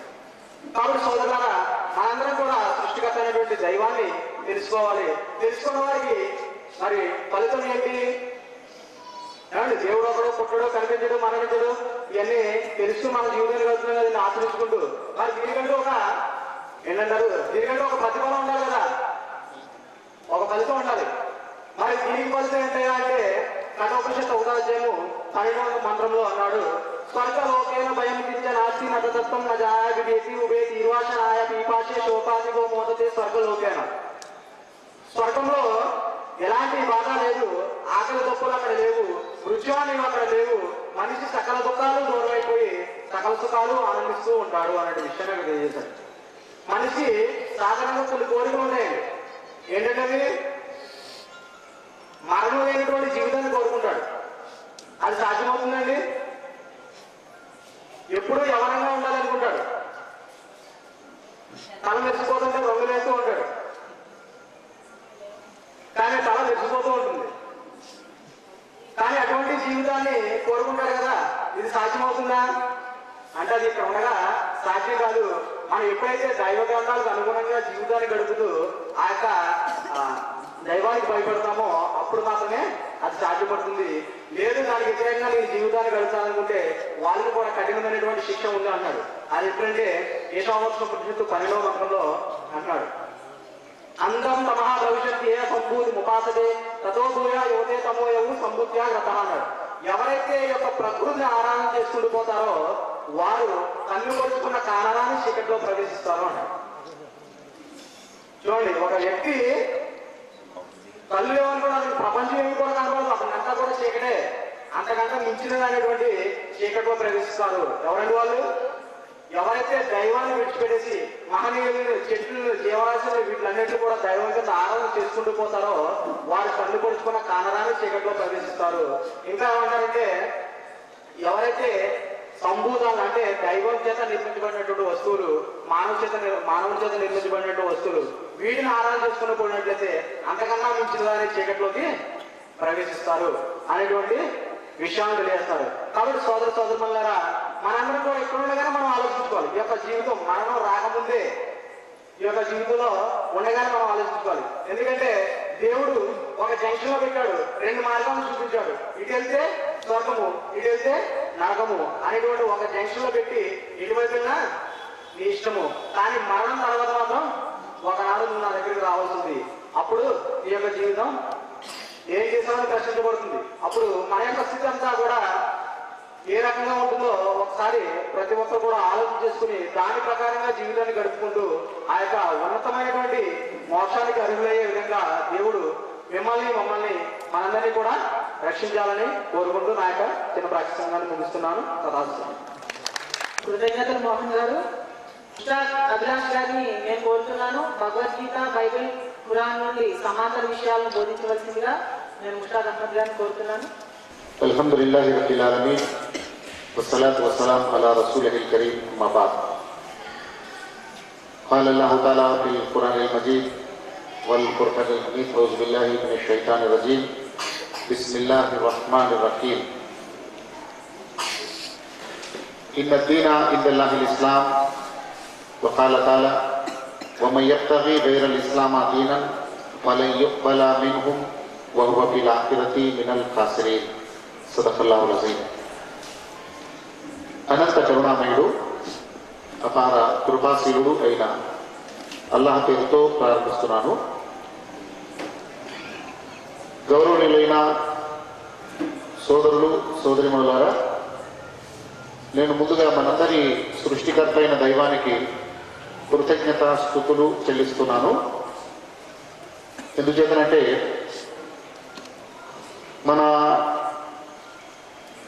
ఎంతో వ్యాపకాలతో ఉన్నటువంటి ఈ సమయంలో మరి ఆయనను జ్ఞాపకం చేసుకొని కొంత అవకాశాన్ని మనకు ఆయన ప్రసాదించారు. కాబట్టి మీరు కూడా మీ హృదయాల్లోనే మనసులోనే దైవానికి కృతజ్ఞతలు తెలియజేయండి. ఎందుకంటే ఇప్పుడు మనం ఏ విషయాలైతే జ్ఞాపకం చేసుకున్నామో ఈ విషయాల అవగాహన చెప్పండి ఈ విషయాల అవగాహన. రెండోది ఆచరణ చెప్పండి. మూడోది ప్రచారము. ఈ మూడు పనులు చేయటం ద్వారా మాత్రమే ఒకటి ఇహలోకంలో మనశ్శాంతి పరలోకంలో ముక్తి మోక్షం స్వర్గం జన్నం దొరుకుతుంది. ఈ మూడు విషయాల్ని అవగాహన చేసుకోకపోవటం కానీ ఆచరణ చేయకపోవటం కానీ ప్రచారం చేయకపోవటం కానీ చేస్తే ఇహలోకంలో మానసిక అశాంతికి గురైపోతాం పరలోకంలో శాశ్వతమైన నరకానికి బలైపోవలసి వస్తుంది. ఇంత ప్రాధాన్యత కలిగిన విషయాలను జ్ఞాపకం చేసుకునే అవకాశం లభించడం అనేది మన అదృష్టమా కదా చెప్పండి? దేవుని దయ కదా? కాబట్టి ఇప్పుడు నేను మాట్లాడబోయేటువంటి టాపిక్ని ఇక్కడ మా ఈ సభా ప్రాంగణంలో ముస్లిం సోదరులతో పాటు మా హిందూ సోదరులు కూడా ఉన్నారు. అలాగే క్రైస్తవ సోదరులు ఉన్నారు. ఈ మైక్ ద్వారా వినేటువంటి వాళ్ళు కూడా ఈ మూడు వర్గాలకు చెందిన వాళ్ళు ఉన్నారు. అలాగే పురుషులే కాకుండా మా గౌరవ మాతృమూర్తులు మా చెల్లాయిలు తల్లులు కూడా ఇక్కడ ఉన్నారు. మీ అందరికీ నేను ప్రత్యేకంగా నేను మనవి చేస్తున్నాను. ఏమిటా మనవి అంటే ప్రస్తుతం మనము అంటే ఇక్కడ మనము అంటే హిందూ ముస్లిం క్రైస్తవులు స్త్రీలు పురుషులు అందరూ. అశాంతితో అలమటిస్తున్నామా? శాంతితో ఆనందంగా ఉన్నామా చెప్పండి? ఎక్కువ శాతం. అశాంతిలో ఉన్నామా లేదా? కులాలు మతాలు అత్యంతమా చెప్పండి దీనికి? అలాగే మనలో నీతి ఎక్కువగా ఉందా? అనీతి ఎక్కువ ఉందా? మన సమాజంలో ప్రేమ పెరుగుతుందా ద్వేషం పెరుగుతుందా? ద్వేషం పెరుగుతుంది. మన సమాజంలో ఐక్యత పెరుగుతుందా అనైక్యత పెరుగుతుందా? అనైక్యత పెరుగుతుంది. మన సమాజంలో స్వార్థం పెరుగుతుందా త్యాగం పెరుగుతుందా? స్వార్థం పెరుగుతుంది త్యాగం తగ్గిపోతుంది. అలాగే మన సమాజంలో ఈర్ష్య పెరుగుతుందా అభినందన పెరుగుతుందా? ఈర్ష్య పెరుగుతుంది అని అభినందన రోజు రోజు తగ్గిపోతుంది. ఇది అందరూ ఒప్పుకోలేకలేదండి ఈ ఈ దుష్పరిణామాలకు హిందువులు అతిథులు కాదు క్రైస్తవులు అతిథులు కాదు ముస్లింలు కూడా అతిథులు కాదు. అందరూ సమానంగా పరిస్థితులకు గురై ఉన్నారు. కాబట్టి ఈనాటి కార్యక్రమం ఏదో మన మిత్రులు పిలిచారు వెళ్ళాలి వెళ్ళకపోతే బాగుందని మనం అనుకుంటారేమో అనే ఫీలింగ్తో మనం కాకుండా ఒక గంభీరమైన మనలో ఈ ప్రతికూల పరిణామాలు ఏవైతే పెరుగుతుపోతున్నాయో ఆ ప్రతికూల పరిణామాల్ని అంటే అశాంతికి బదులు మనం ఏం పెంచుకోవాలి మనలో? శాంతిని పెంచుకోవాలి అనైక్యత బదులుగా ఐక్యత పెంచుకోవాలి ద్వేషానికి బదులు మనం ఏం పెంచుకోవాలి ప్రేమను పెంచుకోవాలి. మనలో పెరుగుతున్న ఈర్ష్యకు బదులు అభినందన పెంచుకోవాలి. ఇవి అవసరమా కాదా చెప్పండి? ఈ విలువ మనకు అవసరమా కాదా? ఈ విలువలే కనుక లేకపోతే మన మన ఇల్లు మన గృహాలు మరి నరకప్రాయం అయిపోవా మన పిల్లలు భ్రష్టులు అయిపోవా చెప్పండి. అయితే మిత్రులారా ఒక సీరియస్ మ్యాటర్ ఏంటంటే ఇక్కడ ఒక ప్రధానమైన ఒక గంభీరమైన ప్రశ్న ఏంటంటే చూడండి ఏ సమాజంలో భక్తి లేదో? ఆ సమాజంలో అశాంతి పెరుగుతుంది. పెరుగుతుందా లేదా? పెరగచ్చా? పెరగకూడదా? భక్తి లేదు. కాబట్టి అశాంతి పెరుగుతుంది ఏ సమాజంలో మరి భక్తి లేదు అక్కడ మరి ద్వేషం పెరుగుతుంది పెరుగుతుందా కదా ఎందుకు? భక్తి లేదు. ఈ ప్రతికూల పరిణామాలన్నీ పెరుగుతున్నాయి. ఎందుకు? భక్తి లేదు కాబట్టి. ఇది వార్త కాదా? సమంజసం కాదా? ఇది చాలా రీజన్ ఇది. అన్నం దొరకలేదు ఆ సమాజంలో అన్నం లేదు. ఆ ప్రాంతంలో అన్నం దొరకటం లేదు. ఏమవుతుంది? ఆకలితో అలవడిస్తారు ప్రజలు. అదేనా కదా? మరి ప్రస్తుతం మన సమాజంలో భక్తి ఎక్కువ ఉందా లేదా చెప్పండి? దేవాలయాలు ఖాళీ ఉన్నాయా? పాత దేవాలయాలు ఏం చేస్తున్నారండి? ఎక్స్టెన్షన్ చేస్తున్నారు. అక్కడ స్థలాలు కొలిసి ఆ దేవాలయం పెంచుతున్నారు. అలాగే కొత్త దేవాలయాలు కడుతున్నారు. చర్చీలు చర్చీలు పాత పెంచుతున్నారు కొత్త చర్చీలు కడుతున్నారు. మసీదులు అండి. పాత మసీదులు ఎక్స్టెన్షన్ చేస్తున్నారు. అలాగే కొత్త మసీదులు కడుతున్నారు. ప్రభుత్వం భక్తుల కోసం ట్రైన్స్ సరిపోగా ఏం చేస్తుంటే స్పెషల్ ట్రైన్స్ చేస్తుంది ఆర్టీసీ డిపార్ట్మెంట్ వాళ్ళు ఏం చేస్తున్నారండి? భక్తుల కోసం మూడు వందల బస్సులు ఐదు వందల బస్సులు వెయ్యి బస్సులు చూడండి ఇదంతా ఎవరి కోసం? దుష్టుల కోసమా? దుర్మార్గుల దుర్మార్గుల కోసమా? భక్తుల కోసమా? భక్తులే అందరూ భక్తులే. ఆలోచించండి ఇక్కడ కాస్త మన బుద్ధితో ఆలోచించండి.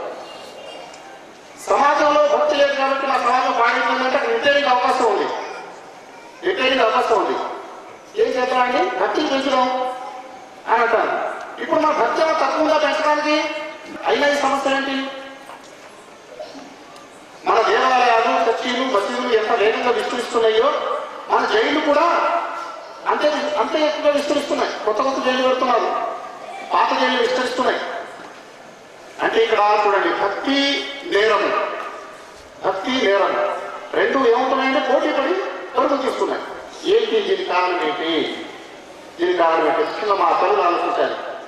ఎందుకంటే స్త్రీలు ఈ విషయంలో చాలా ప్రత్యేక బాధ్యత వాళ్ళతో ఉంది. ప్రవక్త మొహమ్మద్ సల్లల్లా అలిసల్లం ఏమన్నారు తెలుసండి ఒక పురుషుడికి విద్య నేర్పిస్తే ఒకే వ్యక్తికి విద్య నేర్పించినట్టు ఒక స్త్రీకి విద్య నేర్పిస్తే ఒక కుటుంబానికి విద్య నేర్పించినట్టు అన్నారు కాబట్టి ఎడ్యుకేట్ ఎవరు కావాలి ముందు? స్త్రీలు ఎడ్యుకేట్ కావాలి. కాబట్టి ముఖ్యంగా మా చెల్లాయిలు తల్లుల్ని నేను ప్రత్యేకంగా కోరుతున్నాను. మా మైకు ద్వారా దూరంగా ఉన్నటువంటి ఇళ్ళలో ఇళ్ళ పెట్టుకుని కూర్చొని వింటున్నటువంటి గౌరవ సోదరి మనులు కూడా నేను మనవి చేస్తున్నాను. దయచేసి ఈ విషయాలు గమనించాలి. ఎందుకంటే మీ భార్య భర్తల మధ్య సత్యత లేదు ఈరోజు. మీ పిల్లలు మీ మాట లేదు. మీ అత్త కొడుల మధ్య సఖ్యత లేదు. అన్న తమ్ముల మీద మధ్య తగాదాలు ఉన్నాయి. ఇరుగు పొరుగు మధ్య తగాదాలు ఉన్నాయి. ఈరోజు ఉడుకులు మీరు మీరు మరి ఒక తల్లిగా తన నవమాసాలు కడుపులో పెట్టి పోషించి మరి ప్రాణాంతకంగా కని ఆ తర్వాత తన రక్తాన్ని పాలుగా మార్చి పట్టించి పెంచినటువంటి పిల్లలు. పురుషుడైతే తండ్రి అయితే తన రక్తాన్ని చెమటగా మార్చి మరి అర్ధాకలితో మరి అరకూరగా తిరిగి పెద్ద పెద్ద స్కూళ్ళలో చదివించి పిల్లల్ని పెద్దవాళ్ళు చేశారు. ఆ పిల్లలు పెద్దవాళ్ళ ఈరోజు ముసలి వాళ్ళైనటువంటి తల్లిదండ్రులు నిర్లక్ష్యం చేయటం వాళ్ళని కాపులు చేయకపోవడం వాళ్ళ ఇష్టాన్ని వ్యతిరేకంగా వెళ్ళి పెళ్ళి చేసుకోవడం. అంతేకాకుండా చివరికి వాళ్ళు వృద్ధులైపోతే ఓల్డేజ్ హోమ్లో తీసుకుని పాడేయటం జరుగుతుందా లేదా? కాబట్టి పిల్లలారా ఈ వ్యతిరేక పరిణామాలు ఏవైతే జరుగుతున్నాయో వీటి గురించి మనం ఆలోచన చేయాలి. అయితే ఈ సమస్యలన్నీ భక్తి ద్వారా దూరం అవుతాయి అనేది ఒక నినాదం ఉంది. కానీ ప్రస్తుతం భక్తి ద్వారా ఈ సమస్యల పరిష్కారం రావటం లేదు. అంటే దీనికి ఏం ఏం కారణమై ఉంటుంది? ఉదాహరణకు ఒక వ్యక్తి బాగా రోగి అయిపోయాడండి. ఆయనకు మందులు వాడుతున్నారు. చాలా మందులు వేస్తున్నారు. అంతకంత ప్యాకెట్లతో మందులు తీసుకొచ్చిస్తారు. పూట పూటగా ఆయన బిడలు మిగులుతున్నాడు అయినా తగ్గటం లేదు. తేడా ఏం చెప్పండి? ఆ వైద్యంలో వైద్యంలో లోపం. ఆ మందులో లోపం ఉన్నట్టగానట ఖచ్చితంగా. ఆ మందులు సరైన అయితే వైద్య వైద్యం అయితే ఖచ్చితంగా ఆరోగ్యం వస్తుంది. కానీ ఇక్కడ పరిస్థితి ఎలా ఉంది? మందులు వాడిపోతే ఆరోగ్యం పాడిపోతుంది రోగం ముదిరిపోతుంది అంటే ఎక్కడ తేడా ఉన్నట్టు? వైద్యంలో తేడా ఉంది మందుల్లో తేడా ఉంది. అదేవిధంగా మన సమాజంలో భక్తి పెరుగుతున్నప్పటికీ కూడా అశాంతి పెరుగుతుందంటే నేరాలు ఘోరాలు పెరుగుతున్నాయంటే కన్న తల్లి తండ్రి తన పిల్లల విషయంలో కన్నీరు విడుస్తున్నారంటే ఒక ఇరవై సంవత్సరాలు అల్లారు ముద్దుగా గుండెలపై పెట్టుకొని పోషించుకున్నటువంటి ఒక ఆడకూతురికి ఇచ్చి వివాహం చేస్తే ఆ ఆడకూతురు పుట్టిందంటేనే రైలు పరిగెడుతుంటాయి ఆమె మరి పెంపకానికి ఆమె స్కూల్ నుంచి మరి కొద్ది ఆలస్యం వస్తే గుండెలో రైలు పరిగెడుతూ ఉంటాయి ఆమె పరిస్థితి ఏంటో తెలియదు ఒక అయ్యకి పెళ్ళి చేసిన తర్వాత కూడా వాళ్ళు ఎంత దుమాగా ప్రవర్తిస్తాడో ఎలాంటి శాడిస్ట్ ప్రవర్తిస్తాడో తెలియనటువంటి పరిస్థితి ఈరోజు రోజు తల్లిదండ్రులకు ఉంది. ఇది వేదన కాదా చెప్పండి? ఇది బాధ కాదా చెప్పండి? ఎందుకు ఈ హింసను మనం అనుభవించాలి? ఈ హింసకు కారణం ఏంటి? మానసిక క్షోభ కారణం ఏంటి అసలు? వీటి గురించి ఆలోచించాలి కలత ఖచ్చితంగా ఆలోచించాలి. ఖచ్చితంగా ఆలోచించాలి. కాబట్టి పెద్ద సమస్యకి ఈరోజు మనం మాట్లాడు పరిష్కారం గురించి మాట్లాడుకుంటున్నాం. ఇదేదో ఆ సమస్య అవడం కాదు. ఏదో సాయిబులు పిలిచారు మన ముస్లిం ముస్లింలు కదా మిత్రులు పిలిచారు వెళ్ళకపోతే బాగుందని. సెంటిమెంట్ వచ్చి కూర్చున్నాం అంటే కదా కాదు. చాలా పెద్ద విషయం గురించి మనం మాట్లాడుకుంటున్నాం. సరే మనందరం ఏకగ్రీవంగా వస్తున్నాం మన భక్తిలో ఎక్కడ లోపం? ఉంది లేదండి ఈ రోజు మేము హిందువులు ఆచరించే ఆచరణ ఏదైతే ఉందో అది కరెక్ట్ అండి. అంటే కరెక్ట్ అండి అంటే మీ దగ్గర ఉండాలి? శాంతి ఉండాలి ప్రేమ ఉండాలి. మీ తల్లిదండ్రులు తల్లిదండ్రులు ఉన్న మిమ్మల్ని మీ సంతానం గౌరవించాలి. మీ నిజమైన హిందూ మతంపై నడిస్తే ఈ రోజు మీలో కలగాలు అనకూడదు మీరు మహత్తులుగా ఉండాలి. అది ఉందా మీలో? లేదు. మీరు అనుకుంటే హిందూ మతం తప్ప ఈ రోజు అనుకుంటున్న హిందూ మతం తప్పని మీరు ఒప్పుకొని చేరాలి. అలాగే క్రైస్తవులు మా క్రైస్తవం కరెక్ట్ అని అంటున్నారు. ఈ క్రైస్తవం కరెక్ట్ అయితే ఈ రోజు హిందువులో ఉన్నటువంటి పాపాలు నేరాలు ఘోరాలు చెడులు ఈ సమాజంలో ఉండకూడదు. అలాగే ముస్లింలు ఈ రోజు మేము ఇస్లాం గురించి మేము ఏదైతే పద్ధతిని అనుసరిస్తున్నామని అదంతా కరెక్టేనని అని మీరు అన్నారంటే ఖచ్చితంగా హిందువుల కంటే క్రైస్తవుల కంటే నైతికంగా మీరు గొప్పగా ఉండాలి. వాళ్ళందరికంటే మీరు ఉత్తమ విలువలు కలిగి ఉండాలి. ఉన్నాయా? దీన్ని బట్టి ఏమవుతుంది మనకి? అందరూ కూడా నైతిక పత్రంలో సమానంగా ఉన్నారు. కాబట్టి మీరు కలిసి మనమందరం కలిసి ఒక విషయాన్ని ఆలోచన చేయాలి. ఏంటది? పునరాలోచన చేయాలి. ఆత్మ పరిశీలన చేసుకోవాలి. ఏంటి ఆత్మ పరిశీలన? ఈ రోజు మనం అవలంబిస్తున్నటువంటి ధార్మిక విధానం సరైనదేనా? లేక వేరొక పద్ధతి ఏదైనా అసలైన పద్ధతి ఏదైనా ఉందా? మనం ఎక్కడైనా తప్పిపోయామా? అనే విషయం గురించి ఒక ప్రశ్న మనం అందరం కలిసి వేసుకోవాలి కదా? ఖచ్చితంగా వేసుకోవాలి. ధార్మిక గ్రంథాలు ప్రస్తుత. ఇప్పుడే మా నవ యువకులు కిషోరుడు అద్భుతమైనటువంటి మరి యువకులు వాళ్ళ సంబంధం మాట్లాడటం ఎంత గొప్ప విషయం చెప్పండి? ఇది చాలా ఆనందపడుతున్న వాళ్ళు మాట్లాడుతున్న విషయాలు విని. మా మోహన్ మాట్లాడింది మా సురేష్ మాట్లాడింది రమేష్ మాట్లాడింది ఇంకా పిల్లలు ఇతర వ్యక్తులు మాట్లాడారు. ఆ నవయుకులు మాట్లాడారు. ఎంత అద్భుతంగా మాట్లాడారు చెప్పండి? వాళ్ళు ఎవరనుకున్నారు స్కాలర్స్. వాళ్ళు మామూలు వ్యక్తులు కాదు. వాళ్ళు ధార్మిక గ్రంథాన్ని పరిశోధించారు పరిశీలించారు. వారి వల్ల వారి ప్రసంగాల వల్ల ఎంతో మంది జీవితాలు మారాయి వాళ్ళు ఏంటి ఏం చెప్తున్నారు అసలు? అసలు విషయం ఏంటి అని మనం ఆలోచిస్తే ఒకసారి వాళ్ళు చెప్పిన దాంట్లో ఒక విషయం వచ్చింది. ప్రతి వ్యవహారానికి కూడా సంక్షోభం సమస్య వస్తే దాని పరిష్కారం కోసం ఒక శాస్త్రం ఉంటుంది. ఉదాహరణకు తెలుగు విషయంలో మీకు ఒక స్పెల్లింగ్ తేడా వచ్చిందనుకోండి ఏ గ్రంథం చదువుతారండి తెలుగు నిఘంటు ఇంగ్లీష్లో స్పెల్లింగ్ తేడా వస్తే వెళ్తారు. ఇంగ్లీష్ నిఘంటు అలాగే మరి సంఖ్యాశాస్త్రం ఏమైనా తేడా వస్తే ఏ శాస్త్రం చూస్తారు సంఖ్యాశాస్త్రం చూస్తారు. అంటే ప్రతి దానికి ఒక శాస్త్రం ఉంది. అలాగే మత సంబంధమైన విషయాల్లో గందరగోళం ఏర్పడినప్పుడు మత సంబంధమైన వ్యవహారాలు మనం పొరపాటు చేస్తున్నామా?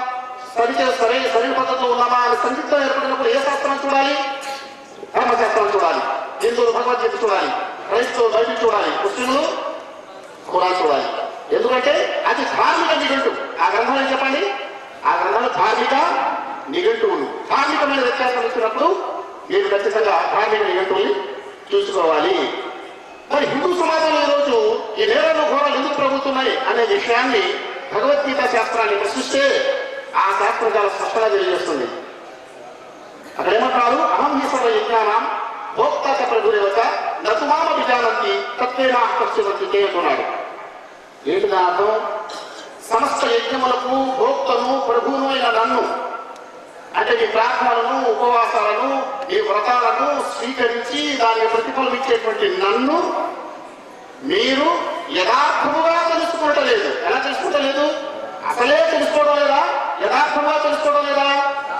యథార్థంగా తెలుసుకోవడం లేదు. ఇందు మూలంగా జారిపోతున్నారు ఇది. హిందువుల్లో పాపాలు కలగడానికి హిందువుల్లో నేరాలు కలగడానికి కారణం ఏంటయ్యా అడిగితే గీతాశాస్త్రం ఏముంటుంది? వారు తమ దైవాన్ని తెలుసుకోవాల్సిన విధంగా తెలుసుకోలేదు. కాబట్టి హిందువుల్లో పాపాలు పెరిగిపోయాయి నేరాలు ఘోరాలు పెరిగాయి అశాంతి పెరిగిపోయింది. వాళ్ళ పిల్లలు వాళ్ళ ఆడ ఆడవాళ్ళు మగవాళ్ళలో వ్యతిరేక స్వభావం పెరిగిపోతుంది. కారణం ఏంటి? శాస్త్రం ఏం చెప్తుందని వారు దైవాన్ని యథార్థంగా తెలుసుకోలేదు. మరి క్రైస్తవంలో ఎందుకు ఘోరాలు నేరాలు జరుగుతున్నాయి? దానికి కారణం ఏంటో అడిగితే పరిశుద్ధ బైబిల్ గ్రంథం తెలియజేస్తుంది.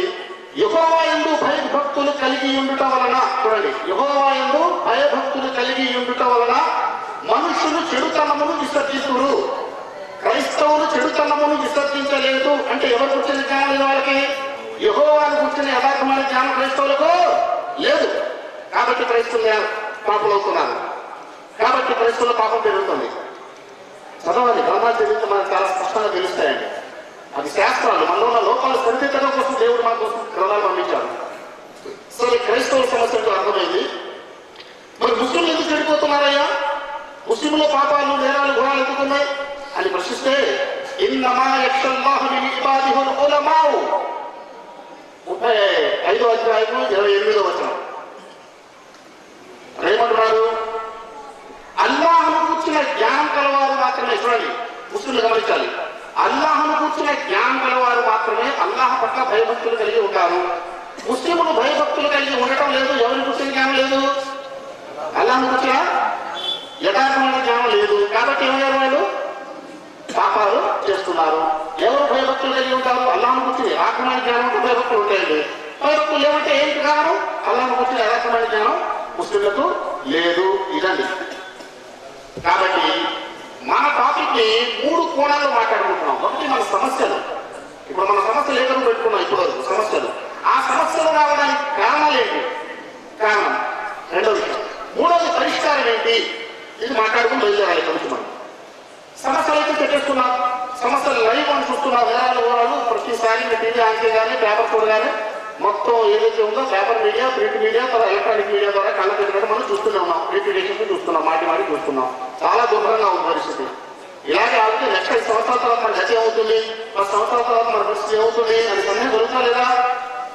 ఇదంతా చెప్పట్లేదు ఈ నేరాలు ఘోరాలు పెరగడానికి కారణం ఏంటయ్యా అంటే గ్రంథాలు చెప్పిన మూడు గ్రంథాలు సమానంగా పెట్టాయి.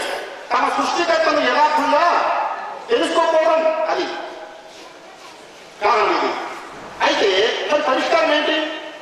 సృష్టికర్తలు యథార్థంగా తెలుసుకుంటే ఈ సమస్యలు ఏమవుతాయండి? పరిష్కారం అయిపోతాయి. అయితే ఇప్పుడు మనం టెక్నికల్గా తెలుసుకోవాలి. ఎందుకండి సృష్టికర్తను తెలుసుకోవడానికి మనుషులో పరివర్తన రావడానికి సంబంధం ఏంటి అసలు? దానికి దీన్ని పోతాడు అసలు? అనే సంబంధం కలుగుతా లేదా? ఇది రీసెర్చ్ టాపిక్ అండి ఒక ఒక పరిశోధనాత్మకమైన అంశం ఈరోజు మనం మాట్లాడుకుంటున్నాం. ఇది how's possible conscious of God లేకపోతే నాలెడ్జ్ ఆఫ్ గాడ్ ఏం చేస్తుంది మనిషిని ఆ ఈవెంట్స్ నుండి దూరం చేస్తుందనేటువంటి విషయం మన శాస్త్రాలు ఉమ్మడిగా చెప్తున్నారు ఎవరు చూస్తే అవకాశం లేదు. ఇది ఎలా అనేది మీరు గమనించాలి నెంబర్ వన్ హిందూ ముస్లిం క్రైస్తవులు ముగ్గురు కూడా సమానంగా ఈ విషయాన్ని గమనించండి. సృష్టికర్తన దేవుడు ఉన్నాడా లేడా అంటే అందరూ ఏం చెప్తారండి? ఉన్నాడు ఓకే. ఉన్నాడు. ఓకే. ఉన్నవాడు ఎవడు? ఉన్నారో నుంచి కామనాశం వచ్చింది. ఉన్న ఎవడు అని అనగా నేను? ఉన్నాడు అని కామనాస్తం అతను ఎవడు కామనాశం ఇవ్వగలరా అతడు శివుడా? అతడు రాముడా? అతడు కృష్ణుడా? అతడు ఏసా? ఎవరు? లేక ముస్లింలు కొంతమంది పూజించేటువంటి బాబాలు ఉన్నారు. అజ్మీర్ వాలి బాబా ఆ బాబాలు బాబా చాలా మంది హైదరాబాద్ ఇంటి బాబా ఉంటారు. వాళ్ళ ఎవరు? ఖచ్చితంగా చెప్పాలి. అంటే గ్రంథాలు దేవుడి గురించి తెలియదు అంటున్నారా యథార్థంగా తెలియదు అంటున్నారా యథార్థంగా తెలియదు. ఇప్పుడు మనం యథార్థంగా తెలుసుకుంటే మన సమస్య పరిష్కారం అవుతాయి అంటున్నారు అది చాలా కరెంట్ ఇష్యూ మాకు. మాకు కావాలి. ఇప్పుడు మా సమస్య పరిష్కారం కావాలి. కావాలంటే దేవుడు తెలుసుకోవాలి. గ్రంథాల ప్రకారం గ్రంథాలు తెలుసుకుంటే ఎలా పరివర్తన వస్తుంది అనేది మనం ఇప్పుడు ఒక నిరూపణ పూర్వకంగా ఆధార సహితంగా తెలుసుకోవాలి. చూడండి. సృష్టికర్త ఒకడే అనుకున్నాం మరి అందరికీ కూడా సృష్టికర్త ఒకడే దేవుడు ఒకడే ముస్లింల దేవుడు హిందువుల దేవుడు క్రైస్తవులు వేరు వేరుగా ఉంటారా ఒకడే ఉంటారా ఇక్కడ కామన్ సెన్స్తో మాట్లాడుతున్నాను నేను గ్రంథం దగ్గర వెళ్ళలేదు అందరు కలిపి దేవుడు ఒకడు ఉంటారా అనేది ఉంటారా ఒకడే ఉండాలి ఒకడే. అందరూ చెప్తున్నారు. ఒకడే దేవుడు ఉన్నప్పుడు అందరూ ఒకరు కొలుస్తున్నారా? వేరు వేరు కొలుస్తున్నారా? అంటే మన మన అంతరాత్మకిను మన ప్రవర్తనకు పొందనుందా లేదు. మనస వాచ కర్మేణ. ఒక విషయం మూడింటికి సరిపోయినప్పుడే సత్యం అవుతుంది కానీ మనసుకి చెప్తున్న దేవుడు ఒకటి కానీ మన ప్రవర్తనలో మాత్రం ఒక దేవుడు ఎవరి దేవుడు వాళ్ళది. ఇలా ఉంది. కాబట్టి యథార్థంగా దేవుడు తెలుసుకోలేదు మనం. సరే. ఆ దేవుడు ఎవరు? ముందు తెలుసుకుందాం. ఆ దేవుడు తెలుసుకుంటే మనలో ఉన్న పాపాలు మనలో ఉన్న నేరాలు ఎలా దూరం అవుతాయి? ఇది చెప్తే నేను ముగిస్తా. మనసుగా గమనించండి. ముందు సృష్టిగత ఎవరు తెలుసుకుందాం? ప్రాచీన శాస్త్రాలు. మనం కాస్త ముందు చూద్దాం హిస్టారికల్గా ముందు చూద్దాం క్రైస్తవ శాస్త్రాలు ప్రాచీనమా? హిందూ శాస్త్రాలు ప్రాచీనమా? లేదా ముస్లిం దగ్గర ఖురాన్ ప్రాచీనమా? చెప్పండి. హిందూ శాస్త్రాలు ప్రాచీనం. ఎవరైనా ఒప్పుకుంటారు ఇది? బాగా వేదాల కంటే పురాణ పురాతన గ్రంథాలు ఈ లోకంలో ఏవి కూడా లేవు. దీని మొత్తం చరిత్ర కూడా మోడర్న్ మరి హిస్టరీ కూడా అంగీకరిస్తుంది. ఒకటి. బైబిల్ కూడా ఆ తర్వాతది. Old Testament.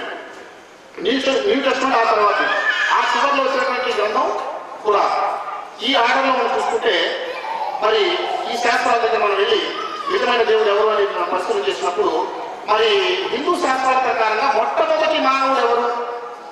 మొట్టమొదటి జంట ఎవరు? అంటే ఏమంటారని మీరు? అయ్యా? శివ పార్వతులు ఆది దంపతులు అందరూ ఒప్పుకుంటారేదమ్మా అందరూ ఒప్పుకుంటారు శివ పార్వతులు ఆది దంపతులు హిందూ శాస్త్రాల ప్రకారం. ఓకే.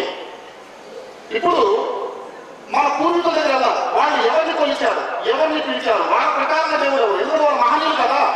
శివుడు మహనీయుడు శంకరుడు మహనీయుడు. మొదటి జంట అన్నారు మన తండ్రి అవుతాడు ఆయన. అతను ఎవరిని కొలిచాడు? ఆ తర్వాత రాముడు. ఆయన ఏమన్నాడు? నేనే దేవుడు నన్నే ప్రార్థించండి అని అన్నాడా? దేవుడికి అవతారం అన్నాడా? నా విగ్రహం చేసి వాడి గుర్తుకి దయచేసి పెట్టి ఏమన్నా పూజలు ప్రార్థన చేయాలని చెప్పాడా? చెప్తే ఓకే. చెప్పలేదు కదా రాము అంతే. ఆ తర్వాత మిగతా ఎవరైతే ఉన్నారు అలాగే యేసుక్రీస్తు. అలాగే ఇంట్లో ఉన్నటువంటి ఐదు అగ్నిలోనే బాబా వాళ్ళు వాళ్ళు. ఎవరు చెప్పారా మా సమాధుల దగ్గర మీరు పడుకుని ఉంటే చనిపోయిన తర్వాత మీరు వచ్చి దుప్పటి కప్పండి.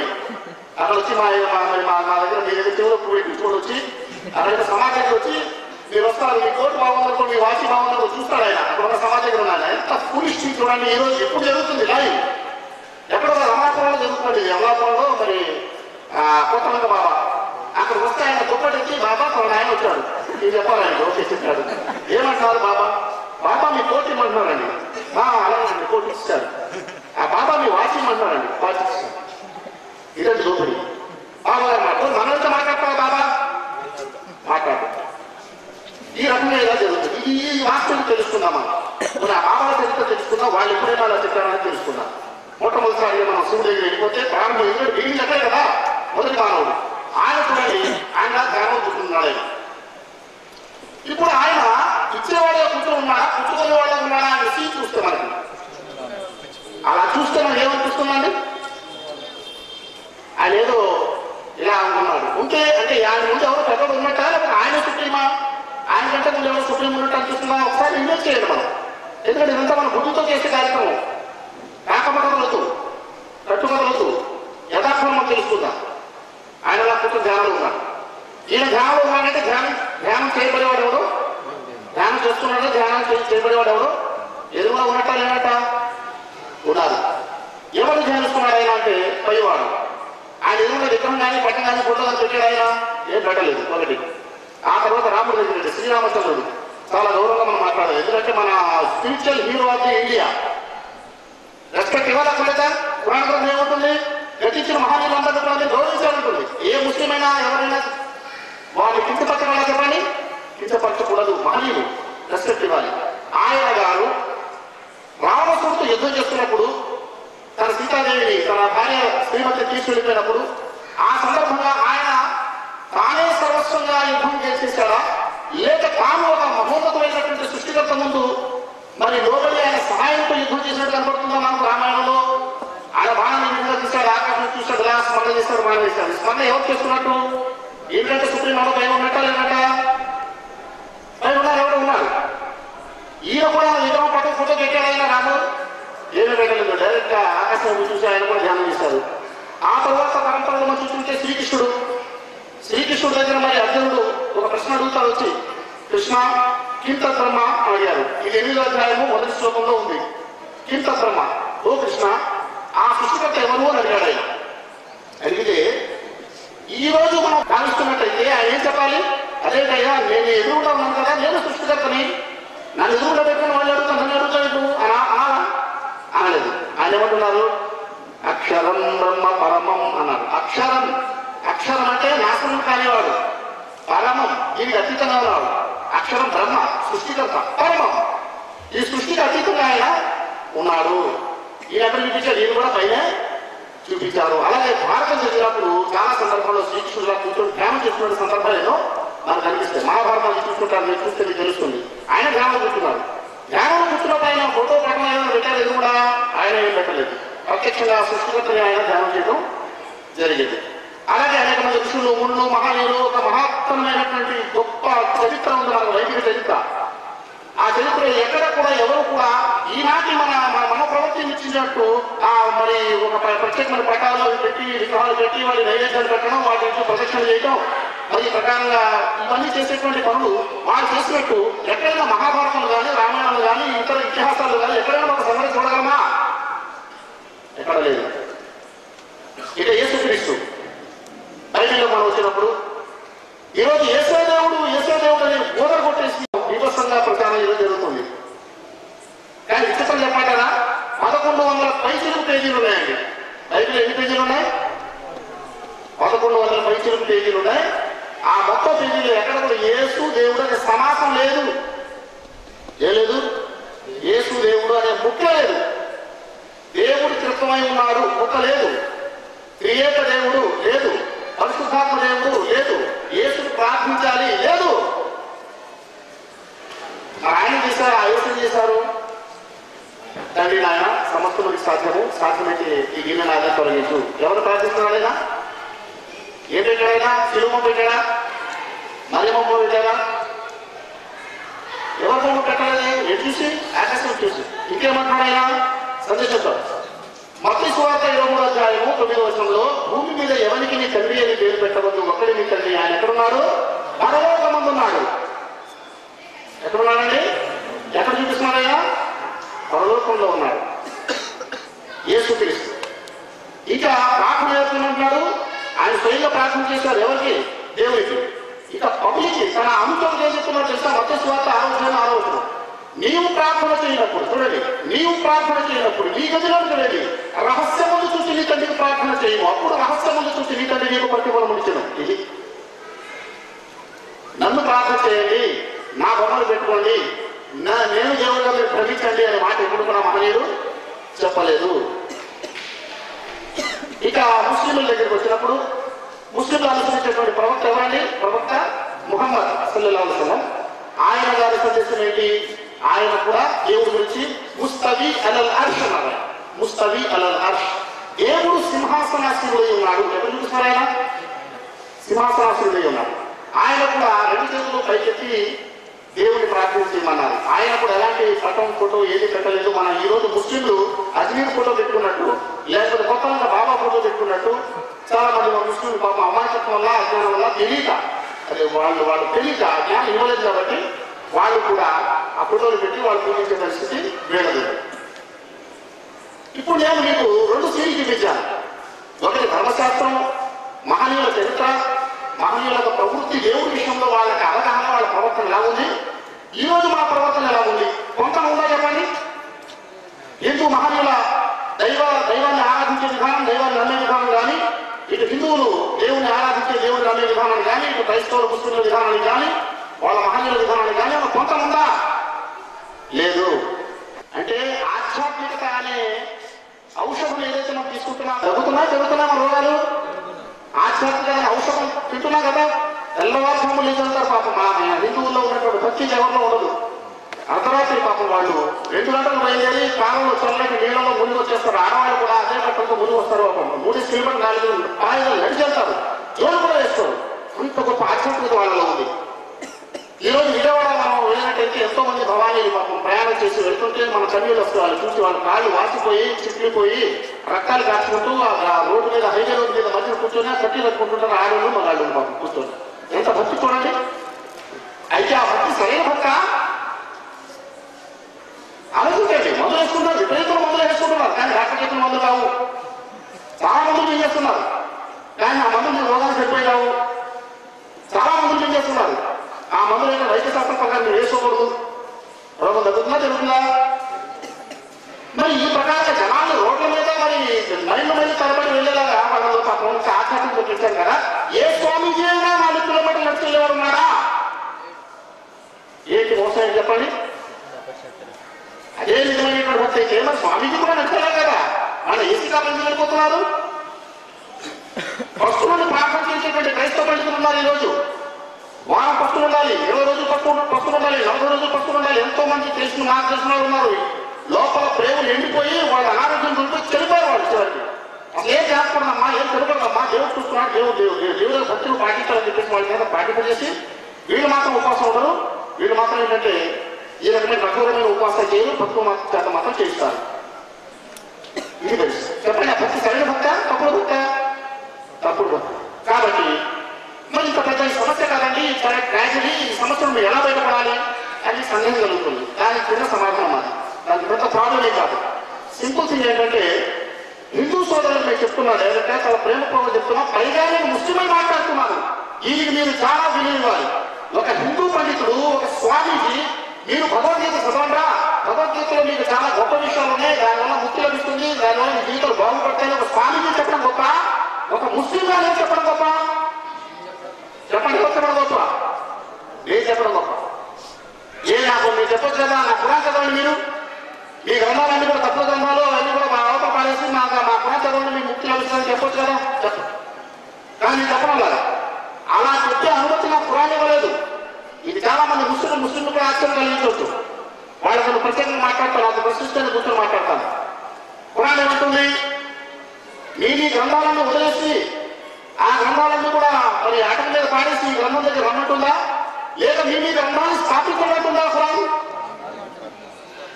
ఐదో అధ్యాయం నెంబర్ ఇస్తాను రాసుకోండి.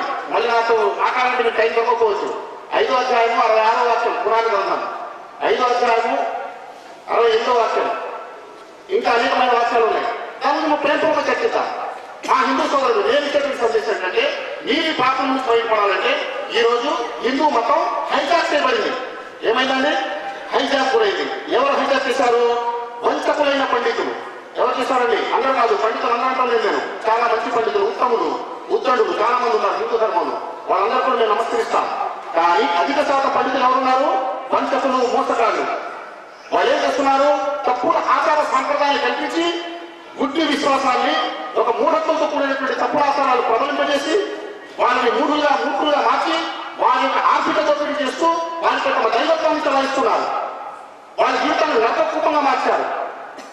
ఆ పరిస్థితి నుండి సామాన్య హిందులు ఎలా బయటపడాలి అంటే ఒకే ఒక రెమెడీ ఏంటది మీరు భగవద్గీత కొనండి. మీరు భగవద్గీత కొనండి. ఒకవేళ మీ ఇళ్ళలో లేకపోతే ఉదయాన్నే మీరు వెళ్ళుకోనండి భగవద్గీతలో కూడా గీత మకరందం ఇది కూడా రాసుకోండి. గీత మకరందం రెండు వందల యాభై రూపాయలు. వ్యాఖ్యాన సహిత గ్రంథం శ్రీకాళహస్తి. ఆ ఈ మధ్య మూడు వందలు ఏంటంటే మూడు వందల రూపాయలు. ఖచ్చితంగా కొనండి. రోజుకు ఒక శ్లోకం. నేను చెప్తున్నాను రోజుకు ఒక శ్లోకం. మీరు సంస్కృతం కాకపోతే ఇబ్బంది లేదు. తాత్పర్యం చదవండి. వ్యాఖ్యానం చదవండి. దాంట్లో ప్రశ్నోత్తరాలు ఇస్తారు. చదవండి ఆయన ఒక్కొక్క శ్లోకం మీరు చదివితే అద్భుతమైన విషయాలు మీకు తెలుస్తాయి.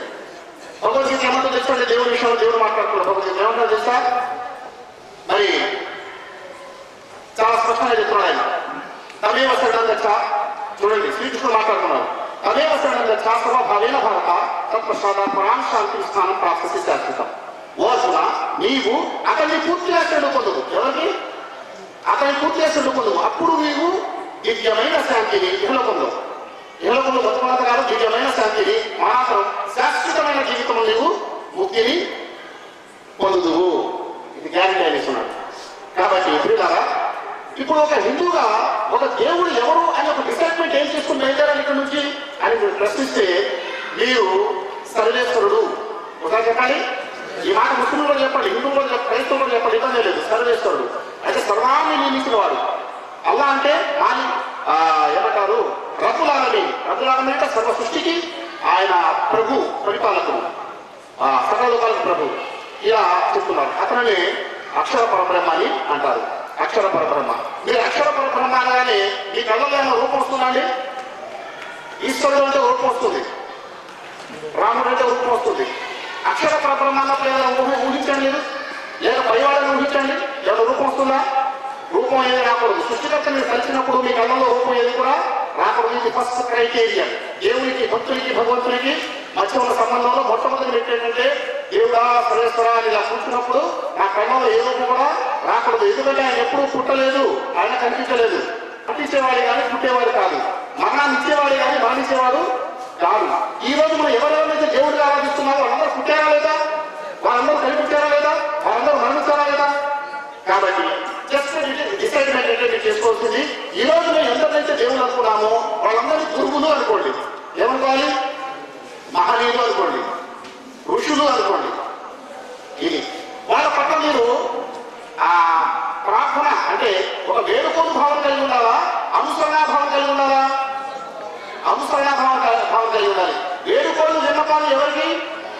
పైవాడికి ఆనాడు రాముడు కూడా పైవాడికి ఆరాధించారు శివుడు కూడా పైవాడు ఆరాధించారు అలాగే మహనీయులందరూ పైవాడికి ఆరాధించారు. కాబట్టి ఒక నిజమైన హిందూ ఎక్కడ చూసి ఎవరు ఆరాధించాలి? పైన చేతులకి ప్రార్థన చేయాలి. ఇది భక్తుడికి భగవంతుడికి అనుసంధానం చేసేటువంటి అద్భుతమైనటువంటి విషయం. ఒక్కసారి మీ ప్రార్థన చేయడం మొదలెడితే మీ మనస్సు ప్రశాంతమైపోతుంది. ఆనందం వచ్చేస్తుంది మీకు. ఎందుకంటే మీ సూక్ష్మాత్మను ఆ మహాత్మతో అనుసంధానం చేస్తారు. దాన్ని యోగా అంటారు. యోగా అంటే కలయిక. ఏటి కలయిక? జీవుని దేవుని కలయిక. ప్రత్యక్ష సంబంధం. ఈ ప్రత్యక్ష సంబంధాన్ని మీరు మెయింటైన్ చేస్తే మీ శరీరం శక్తి చెల్లిస్తుంది. మీలో నైతికత జనిస్తుంది నీకు తెలియకుండానే మీలో ఉన్నట్టు నేరాలు గోడలు పాపాలన్నీ కూడా మీకు దూరం అవడం ప్రారంభమైపోతాయి ఇది ప్రక్రియ. ఇది మొదలెట్టాలి ఒక హిందూగా ఈ రోజు ఇప్పుడు నుండి ఇష్టంగా ఉంది గతంలో తెలియక తెలియదు కాబట్టి మన పటాన్ని ఫోటోని బొమ్మల్ని వాటిని మనం పూజించాం. కానీ వాళ్ళు రెస్పెక్ట్ ఇవ్వాలి వాళ్ళందరూ మహనీయులు. ఇప్పుడు మన గాంధీ గారి ఫోటో చూస్తాం మనం ఎక్కడ చూస్తాం ఏం చూస్తుంది మనకు ఆయన ఒక మంచి మరి గొప్ప త్యాగశీలి లేకపోతే ఆయన మరి- అహింసవాది మన స్వాతంత్రాన్ని తీసుకొచ్చినటువంటి మహనీయులు అనుకుంటాం లేదా ఆ స్పిరిట్. అలాగే రాముడు యొక్క విగ్రహం చూసినప్పుడు ఆ స్పిరిట్ రావాలి తప్ప ఆయన దేవుడు ఆయన ఆరాధించాలనే భావం మాత్రం మనకు రాకూడదు. ఇది క్రైస్తవులు కూడా ఎలా చేయాలి? ముస్లింలు కూడా అజ్మీర్ బాబా కానీ దానికి కానీ జ్ఞాపకం వచ్చినప్పుడు వాళ్ళని మహనీయులు గుర్తించండి. అజ్మీర్ బాబా అంటే మామూలు వ్యక్తి లేదని చాలా మహనీయుడు చాలా గొప్ప వ్యక్తి ఆయన దైవాన్ని ఆరాధించారు దైవాన్ని ఆరాధించమన్నారు కాబట్టి అలాగే చేయాలి. దేవుడి గురించి తెలుసుకున్నాం ఆయన అద్వితీయుడు ఒక్కడు పుట్టడు కనిపించడు మరణించడం చెప్పారు. ఓకే. ఆయన మనుషుల్ని ఎందుకు పుట్టించాడు? ఏదో పర్పస్ ఉంది కదా. ఆ పర్పస్ ఏంటంటే ఆ చెప్తున్నాను ఆయన స్వయంగా చెప్పేది ఏంటంటే మనుషులు నేను మంచి చెడుల మధ్య పరీక్షించడానికి పుట్టించాను అన్నారు. ఏంటి మధ్య పెట్టి? శుక్ల కృష్ణ గతి హేతి జగత శాశ్వతే మధ్య ఏకయ యాప్తేన వృత్తి మన్యయ ఆవర్తతే పునః. శుక్లపక్షము కృష్ణపక్షం అనే రెండు మార్గాలు పెట్టాను. ఒకటి మంచి మార్గము రెండోది చెడ్డ మార్గము. అక్కడ వెళ్తాడా ఇటు వెళ్తాడా నేను పరీక్షిస్తున్నాను. ఇది. చూడు నేడు నేను మీ ముందు జీవును మరణము పెట్టి ఉన్నాను. నేనును కీడు పెట్టి ఉన్నాను. ఎక్కడ బయట చెప్తున్నాడు దేవుడు? అలాగే కురాన్లో చెప్పాడు ఒకదైనా ఉన్నది దై మేము మనిషి ముందు రెండు మార్గాలను పెట్టాము ఇమ్మా షాకిరం ఇమ్మా కపూర అతను కావాలంటే శుకుడు కూడా భక్తుడు కావచ్చు దుర్మార్గుడు కావచ్చు ఫైవ్ యూవర్స్ ఇలా మూడు గ్రంథాలు కూడా రెండు మార్గాలు ఉన్నాయని చెప్పారు. ఈ రెండు మార్గాల మధ్య పెట్టి ఏం చేస్తున్నాడు చెప్పుకున్నా మనం? పరీక్ష చేస్తున్నాడు. నా మానవుడు నా దాసుడు వీళ్ళు మంచితో తమ యొక్క పరీక్ష పత్రాన్ని పూరిస్తున్నారా చెడుతో తమ పరీక్ష పత్రాన్ని పూరిస్తున్నారా అనేది ఒక పరీక్ష. అంటే ప్రపంచ ఒక పరీక్షా హాల్ అయితే మనం అందరం కూడా ఎవరండి? పరీక్ష రాసే విద్యార్థులు అయ్యాం ఓకే. అయితే ఆ పరీక్షపై ఏమైనా నిఘా పెట్టారా లేక మనం సృష్టించేసి ఎక్కడో పడుకుంటున్నారా? అనేది ఇప్పుడు ప్రశ్న. దానికి సంబంధించి మన శాస్త్రాలు ఏమంటున్నాయి చూడండి. మరి సర్వత పాణిపాదం సర్వతోకి శిరోముఖం సర్వత శృతిమల్లోకి సర్వమావృత తిష్టతి జ్యోతిషామపిత జ్యోతిషమ సహ పరముచ్యతే జ్ఞానం జ్ఞేయం జ్ఞానగమ్యం హృది సర్వస్య నిష్ఠితం గతి భర్త ప్రభు సాక్షి నివాస శరణం సుహృ ప్రభవ ప్రళయ స్థానం నిదానం బీజమవ్యయం మూడు శ్లోకాలు చదివానండి. అందులో నాలుగు లక్షణాలు దేవుడు చెప్పలేదు. అలాగే బైబిల్ చెప్తున్నాను ఇప్పుడు. I am the God I am the Lord search the minds నేను మీ దేవుడై ఉన్నాను మీ హృదయాన్ని పరిశోధిస్తున్నాను అంటున్నారు. My people, how can you be such stupid fools? Fools will you avail them? God made our ears God made our ears cannot you hear? God made our eyes. Cannot you see? ఆయన మనకు చెవులు కల్పించాడు. మనం వినేస్తున్నాం ఆయన వింటా మన మాటలు? మనం కల్పించాడు మనం చూసేసుకున్నాం. ఆయన మన చోట? అంటే చూస్తున్నారు ఇక్కడ కూడా నాలుగు లక్షణాలు ఆయన విట్నెస్. అక్కడ నాలుగు లక్షణాలు మూడు లక్షణాలు పురాణంలో బహు సమయం వచ్చి ఆయన సమస్తము చూస్తున్నాడు సమస్తం వింటున్నాడు. ఇటువంటి ముస్లింలు గమనించాలి. మన అల్లా పడుకొని ఉన్నాడా? చూస్తున్నాడు వింటున్నాడా? ఎందుకు చేస్తున్నాడా లేదా? ఇల్లహు అదిముతి జాతి సుదూర్ మీ హృదయాల్లో రహస్యాలు నాకు తెలుసు అంటున్నాడు అల్ల తల. ఆ తర్వాత ఈయనని షాహిదం అంటున్నాడు. నేను నీకు షాహిద్ అయి ఉన్నాను సాక్షి అయి ఉన్నాను అంటున్నాడు. నాలుగు లక్షణాలు పెంచాడు ఇప్పుడు నేను దేవుడు నమ్ముతున్నానని హిందూ నేను దేవుడు నమ్ముతున్నానని క్రైస్తవుడు నేను దేవుని నమ్ముతున్నానని ముస్లిం. అతడు చీకట్లో ఉన్నా వెలుగులో ఉన్నా నలుగురిలో ఉన్నా ఏకాంతంలో ఉన్నా ఎవరి సమక్షంలో ఉన్నాడు? దేవుని దృష్టిలో ఉన్నాడు. మనం మాట్లాడి మాట్లాడి మన చేతలను చూస్తున్నాడు మంచి చేసినా చెడు చేసినా. చివరికి మన హృదయాల్లో రహస్యాలు కూడా ఆయనకు తెలుసు. సరే ఇంత పకడ్బందీ పరీక్ష చేస్తున్నాడు కదా ఇంత నిమా పెట్టి మరి ఆ తర్వాత ఇందులో పాస్ అయిన వాళ్ళ పరిస్థితి ఏంటి? ఇందులో పాస్ అవుతే మనో ప్రశాంతత హాయి ఆనందం గౌరవం మర్యాద లభిస్తారు చెప్పండి. ఒక ఉత్తముడికి ఇక్కడ గౌరవిస్తారు లేదా? ఇది కరెంట్ బెనిఫిట్. ఆ తర్వాత పర్మనెంట్ బెనిఫిట్ అవుతుంది చనిపోయిన తర్వాత వాళ్ళ వైకుంఠం లభిస్తుంది ముక్తి లభిస్తుంది. వాళ్ళు నరకాన్ని తప్పించుకొని ఆనంద డోలికల్లో శాశ్వతమైనటువంటి ఆనందంలో వాళ్ళు ఉంటారు. ఇది పరలోక ప్రయోజనం. అలాగే మరి ఈ పరీక్షలు విఫలమైన వాళ్ళు ఏమవుతారు ఉన్న అవమానాలకు అవ- మరి అపఖ్యాతి గురైపోయి వారు మానసికంగా కృంగిపోయి నలుగురిలో చీ అనిపించుకొని వాళ్ళు శుభ్రంగా జీవితం గడుపుతారు. ఆ తర్వాత చనిపోయిన తర్వాత వారి కోసం శాశ్వతమైన నరకం సిద్ధంగా ఉంది అంటున్నారు. ఇదే పరిస్థితి ప్రోగ్రామ్ ఇది. టోటల్ హ్యూమన్ లైఫ్ ప్రోగ్రామ్ ఒక్కసారి నాకు చెప్పండి. దేవుడి గురించి నా- ఇప్పుడు మనం చెప్పుకునేటువంటి ఐడియా హిందువులు కానీ క్రైస్తవులు కానీ ముస్లింలు కానీ ఉందా? హిందూ పండితులు కానీ క్రైస్తవ పండితులు కానీ ముస్లిం పండితులు కానీ ఇంత ఈ విషయాన్ని స్ట్రెస్ చేసి చిన్నప్పటి నుంచి పిల్లలు బోధిస్తున్నారా? ఒక్కసారి ఊహించండి మన పిల్లలు కనుక మనం కనుక సృష్టికర్తను సమస్యలు చూసేవాడు లేనివాడు గ్రహించేవాడు సాక్షిభూతుగా భూతులుగా ఉండేవాడు మనం తప్పించుకోవడానికి అవకాశం లేకుండా మనం చేసే నేరాలను బట్టి శాశ్వత నరకం విధించేవాడిగా లేక మనం చేస్తున్న సత్కర్మలు బట్టి శాశ్వతమైన స్వర్గం ఇచ్చేవా వచ్చేవాడిగా మనం ఖచ్చితంగా నమ్మినట్లయితే అలాంటి వాళ్ళు చెప్పండి. తల్లిదండ్రులు బాధపడతారా? పిల్లలు? అక్రమ సంబంధాలు పెట్టుకుంటారా? సామాజిక జీవనం లాంటి చదువులు బాధపడతారా? అలాంటి అత్తకోడల మధ్య తగాదాలు ఉంటాయా? అలాంటి వాళ్ళు వ్యాపారం చేస్తే కలిసి ఉంటుందా? అలాంటి వాళ్ళు నాయకులు వచ్చి ప్రజాధనం దోచుకుంటారా? అలాంటి వాళ్ళు ఉద్యోగులు వచ్చే వాళ్ళు అభివృద్ధి పాల్పడతారా? ఎందుకంటే సృష్టికర్త ముందు నేను ఉన్నాను ఇక్కడ ఇక్కడ ఇక్కడ నేను జైలు తప్పించుకోగలను. ఎందుకంటే అంతగా సంపాదించిన దొంగలకు నా దగ్గర ఉంది కాబట్టి నీకు ఎవరికైనా లంచాలు ఇచ్చేసినా ఇక్కడ సుప్రీంకోర్టు కానీ లేదా ఇంకో ఏ కోర్టు బెస్ట్ కోర్టు కానీ ఏదో తప్పించేసుకోగలను పోలీసులు లంచాలు ఇవ్వగలరు సాక్షాత్ తారుమారు చేయగలరు కానీ సుప్రీం సుప్రీం అల్టిమేట్ ఏదైతే ఏమన్నారు సుప్రీం గవర్నమెంట్ యూనివర్సల్ గవర్నమెంట్ ఏదైతే ఉందో అక్కడ తప్పించుకోగలనా అక్కడ తప్పించుకునే అవకాశం నాకు లేదు. ఇక్కడ తప్పించుకుని అక్కడ పట్టుబడిపోతాను ఇది ఖచ్చితంగా తెలిసిందనుకోండి. చెప్పండి అలాంటి వాళ్ళు మంచి వాళ్ళు అవుతారా ఎవరా? ఉత్తమ అవుతారా కదా ఇదండి. ఈ సందేశాన్ని మన పిల్లలకు ఇవ్వాలి. ఈ సందేశాన్ని మన పిల్లలకు బోధించాలి ఆ సందేశం అద్భుతమైన సందేశం ఇవ్వడం కోసమే ఈరోజు అనేకమైనటువంటి గ్రూపులు ఆ ఊరు వారంలో వాళ్ళు స్వచ్ఛందంగా ఈ కార్యక్రమాన్ని చేస్తున్నారు. ఇక్కడ దయచేసి మా ముస్లిం మిత్రులకు నేను ఒక విషయం చెప్పదలిచాను అది దయచేసి గమనించాను అదేంటి తెలుసండి ఖురాన్ గ్రంథంలో అల్లా ఏ సందేశం అయితే ఇచ్చాడో ఖురాన్ గ్రంథంలో అల్లా పద్నాలుగు వందల సంవత్సరాల పూర్వం ఇచ్చాడో అది కొత్త సందేశమా పాత సందేశమా చెప్పండి మీరు? అది మొహమ్మద్ సలాసంలో మాత్రమే ఇచ్చాడా గతంలో వచ్చిన ప్రవక్తలు ఇచ్చారా లేదా? భగవత్ ఆదం ఇస్లాం ధర్మం ఇస్లామా కాదా? నూ ఇస్లాం చెప్పింది ఇస్లామా కాదా? ఆ తర్వాత వచ్చిన ప్రవక్తలందరూ ఇచ్చింది ఇస్లాం అంటే విధేయత. అదేనా కదా? మరి భారతదేశంలో ప్రవక్తలు వచ్చుంటారా ఉండరా? ఇక్కడ ధర్మం ఇవ్వబడి ఉంటుందా ఇవ్వదు? ఉండదా చెప్పండి?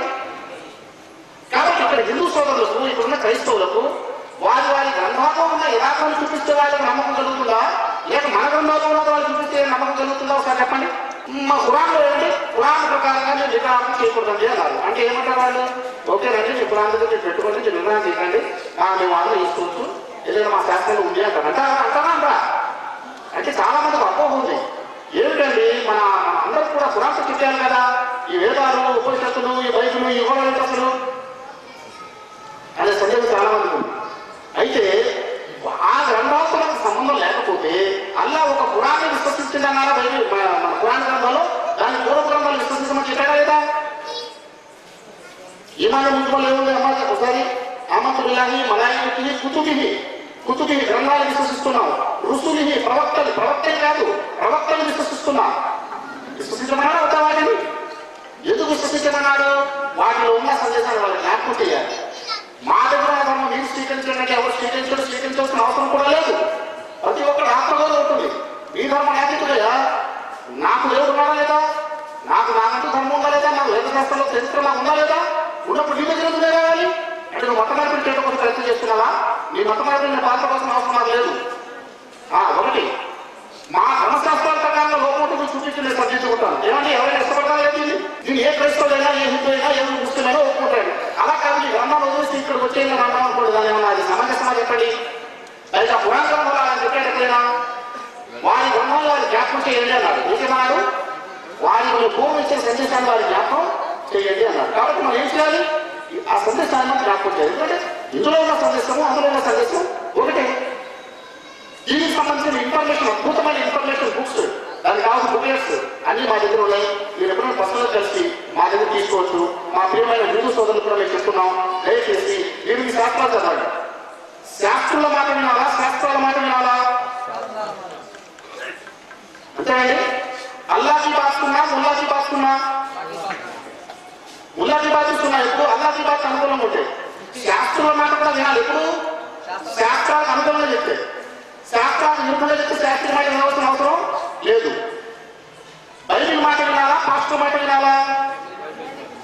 బైబిల్ మాట వినాలి? పాస్టర్ మాట కూడా వినకూడదా? వినొచ్చు. ఎప్పుడు? బైబిల్ ఉన్నది చెప్తే. ఏది చెప్పాలనుకోండి అది వినవలసిన అవసరం లేదు. ఇదండి.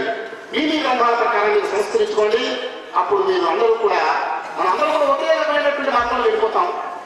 వారు ఆరాధించే దేవుడు మేము ఆరాధించే దేవుడు అంతా ఒకటే వారి మా అందరూ మనందరూ తల్లిదండ్రులు ఒకటే మనందరూ ధర్మం ఒకటే. ఈ రకంగా ఉన్నప్పుడు మనం అంతా ఒకే కుటుంబంగా ఒకే జంట సంతానంగా మనం అందరూ హ్యాపీగా ఆనందంగా బతకడం లేదో చెప్పండి? ఇక మీరు లేదు మేము లేదు మీకంటే మేము గొప్ప మాకంటే తక్కువ అనేటువంటి అవకాశం ఎక్కడ ఉంది కదా అందరూ అందరినీ కలిసి దేవుడు ఒకే సూర్యుడు ఇచ్చాడు. అందరూ కలిసి ఒకే చంద్రుడు ఒకే గాలి ఇచ్చాడు. అలాగే ఒకే ధర్మం ఇచ్చాడు. ఆ ధర్మం ఎక్కడ ఉన్నది ప్రజల్లో ఉందా గ్రంథాల్లో ఉందా? శాస్త్రాల్లో ఉందా ఎక్కడ ఉంది శాస్త్రాల్లో మరుగులు పడుంది. అది తీయండి. అది తీసి దాన్ని మనం అందరూ కూడా అనుసరిద్దాం. ఒక నూతనమైనటువంటి అద్భుతమైన భారతదేశాన్ని నిర్మిద్దాం. ఈ రోజు ఎన్నో నినాదాలు వస్తున్నాయి? భారతదేశాన్ని సైనికంగా బలోపేతం చేయాలి ఖచ్చితంగా చేయాలి. మన దేశాన్ని ప్రపంచంలో ఒక సైనికమైన ఒక ఆర్థిక శక్తిగా పెంచాలి ఖచ్చితంగా చేయాలి మనందరం పాటుపడాలి. అలాగే మన భారతదేశాన్ని నైతికంగానూ తీర్చిదిద్దాలి. అవునా? అవునా కదా? అవసరమా కదా? నైతిక బలమే అసలైనటువంటి బలం. కాబట్టి మన సైంటిస్టు అనేక రకాలుగా మన ఆర్థికవేత్తలు ఆర్థిక రంగంలో భారతదేశాన్ని బలోపేతం చేయడం కోసం ప్రయత్నం చేస్తే మనం ఏం చేద్దాం? నైతికంగా మన జాతిని బలోపేతం చేయడం కోసం ప్రయత్నం చేద్దాం అసలేదా కాబట్టి ఆ మహత్తరమైన యజ్ఞం కోసమే మేము ప్రయత్నం చేస్తున్నాం. మరి ఈ విషయంలో మీరు చాలా చక్కగా మాతో ప్రేమగా కలిసి మాట్లాడవచ్చు. మీకు కావాల్సిన అద్భుతమైన సమాచారం ఉచితంగా మేము అందించడం కోసం సిద్ధంగా ఉన్న తెలియజేస్తూ మన ప్రసంగాన్ని ముగిస్తున్నాను. వాక్యం కావాలని అహమ్దుల్లాహి రబిలాలని అస్సలం అయికం వరహమతుల్లాహి వబరకాతుహు. జై హింద్ ఆ, చిట్ట చివరిగా ఓట్ ఆఫ్ థ్యాంక్స్ మన ఈ కార్య ఈ కార్యక్రమాన్ని నిర్వహించినటువంటి రజీవ్ గారిని నేను వేదిక పిలుస్తున్నాను. వారి ఓట్ ఆఫ్ థ్యాంక్స్ ద్వారా ఈ కార్యక్రమం ముగుస్తుంది. నేను ముందుగా మన సృష్టికర్త అయినటువంటి సర్వలోకాలకు కర్త అయినటువంటి అల్లాను వేల వేల కృతజ్ఞతలు తెలియజేసుకుంటున్నాను. ఎందుకంటే ఈ ఆకివీడు గ్రామంలో ఎంతో వేల కోట్లు ఖర్చు పెట్టిన అందినటువంటి సందేశం ఈ ఆకివీడు ప్రజలకు ఆ అల్లాహ్ అందించినందుకు ఆ సర్వేశ్వరుడు ఆ సందేశాన్ని ఇచ్చినందుకు ఆయనకు మరొకసారి నేను కృతజ్ఞతలు తెలియజేసుకుంటూ అలాగే చాలా చక్కని ప్రసంగాన్ని మన ముస్తాక్ అహ్మద్ గారు తర్వాత మన పిల్లలందరూ కూడా చాలా చక్కటి సందేశం ఇచ్చారు. ఉదాహరణకు ఒక తండ్రికి నలుగురు పిల్లలు ఉన్నారండి. మానవ మేధస్సుతో ఆలోచించినట్లయితే ఒక తండ్రికి నలుగురు పిల్లలు ఉన్నారు. ఆ తండ్రి తన ఇద్దరు పిల్లలకు అమృతాన్నిచ్చి మరో ఇద్దరు పిల్లలకు విషం ఇస్తాడా ఆలోచించండి. తండ్రి ప్రేమ ఆ సంతానం పట్ల కొద్ది హెచ్చుతగ్గులు ఉన్నా సమంగా ఉంటుంది. అలాగే దేవుని యొక్క ప్రేమ కూడా ప్రజలందరి పట్ల కూడా సమంగా ఉంటుంది. ఇదే విషయాన్ని ఖురాన్లో ఆయన చక్కగా వివరించారు. ఒక వాక్యం ఉంది. విమా ఉంచులా ఏక ఉమా ఉంచులా ఓ విశ్వాసులారా మీరు ఈ పురాణ గ్రంథాన్ని విశ్వసించాలి. దీనికి పూర్వం నేను అనేక గ్రంథాలను పంపి ఉన్నాను. వాటిని కూడా మీరు విశ్వసించాలి అని ఆ దైవం పురాణంలో చెప్పాడు. ఈ విషయం చాలా వరకు నాకు అర్థమయ్యే కాదు ఒక పురాణం సరిపోతుంది కదా? మళ్ళీ పూర్వపు గ్రంథాలేంటి? అని కూడా ఒకసారి ఆలోచించామని కానీ మన ముత్తాక అహ్మద్ గారు వారు గత ఇరవై సంవత్సరాల నుండి భగవద్గీత బైబిల్ పూర్వపు గ్రంథాలను పరిశీలించి అందులో ఉన్నటువంటి అమృతాన్ని తీసి నిజంగా ప్రజలకు ఆ వాక్యం నాకు అర్థమైంది. కాబట్టి మిత్రులారా సోదరులారా మీరు మీ మీ గ్రంథాలను ప్రతిష్ఠించి మీ సృష్టికర్తను హృదయపూర్వకంగా ఆరాధించండి. ఆ తర్వాత ఆయనే మార్గాన్ని చూపిస్తాడు ఆయనకు మీరు సత్సంబంధాన్ని పెట్టుకోండి. కాబట్టి మా యొక్క పిలుపునకు చక్కని స్పందన ఇచ్చి మీరందరూ ఈ యొక్క కార్యక్రమాన్ని విచ్చేసినందుకు జయప్రదం చేసినందుకు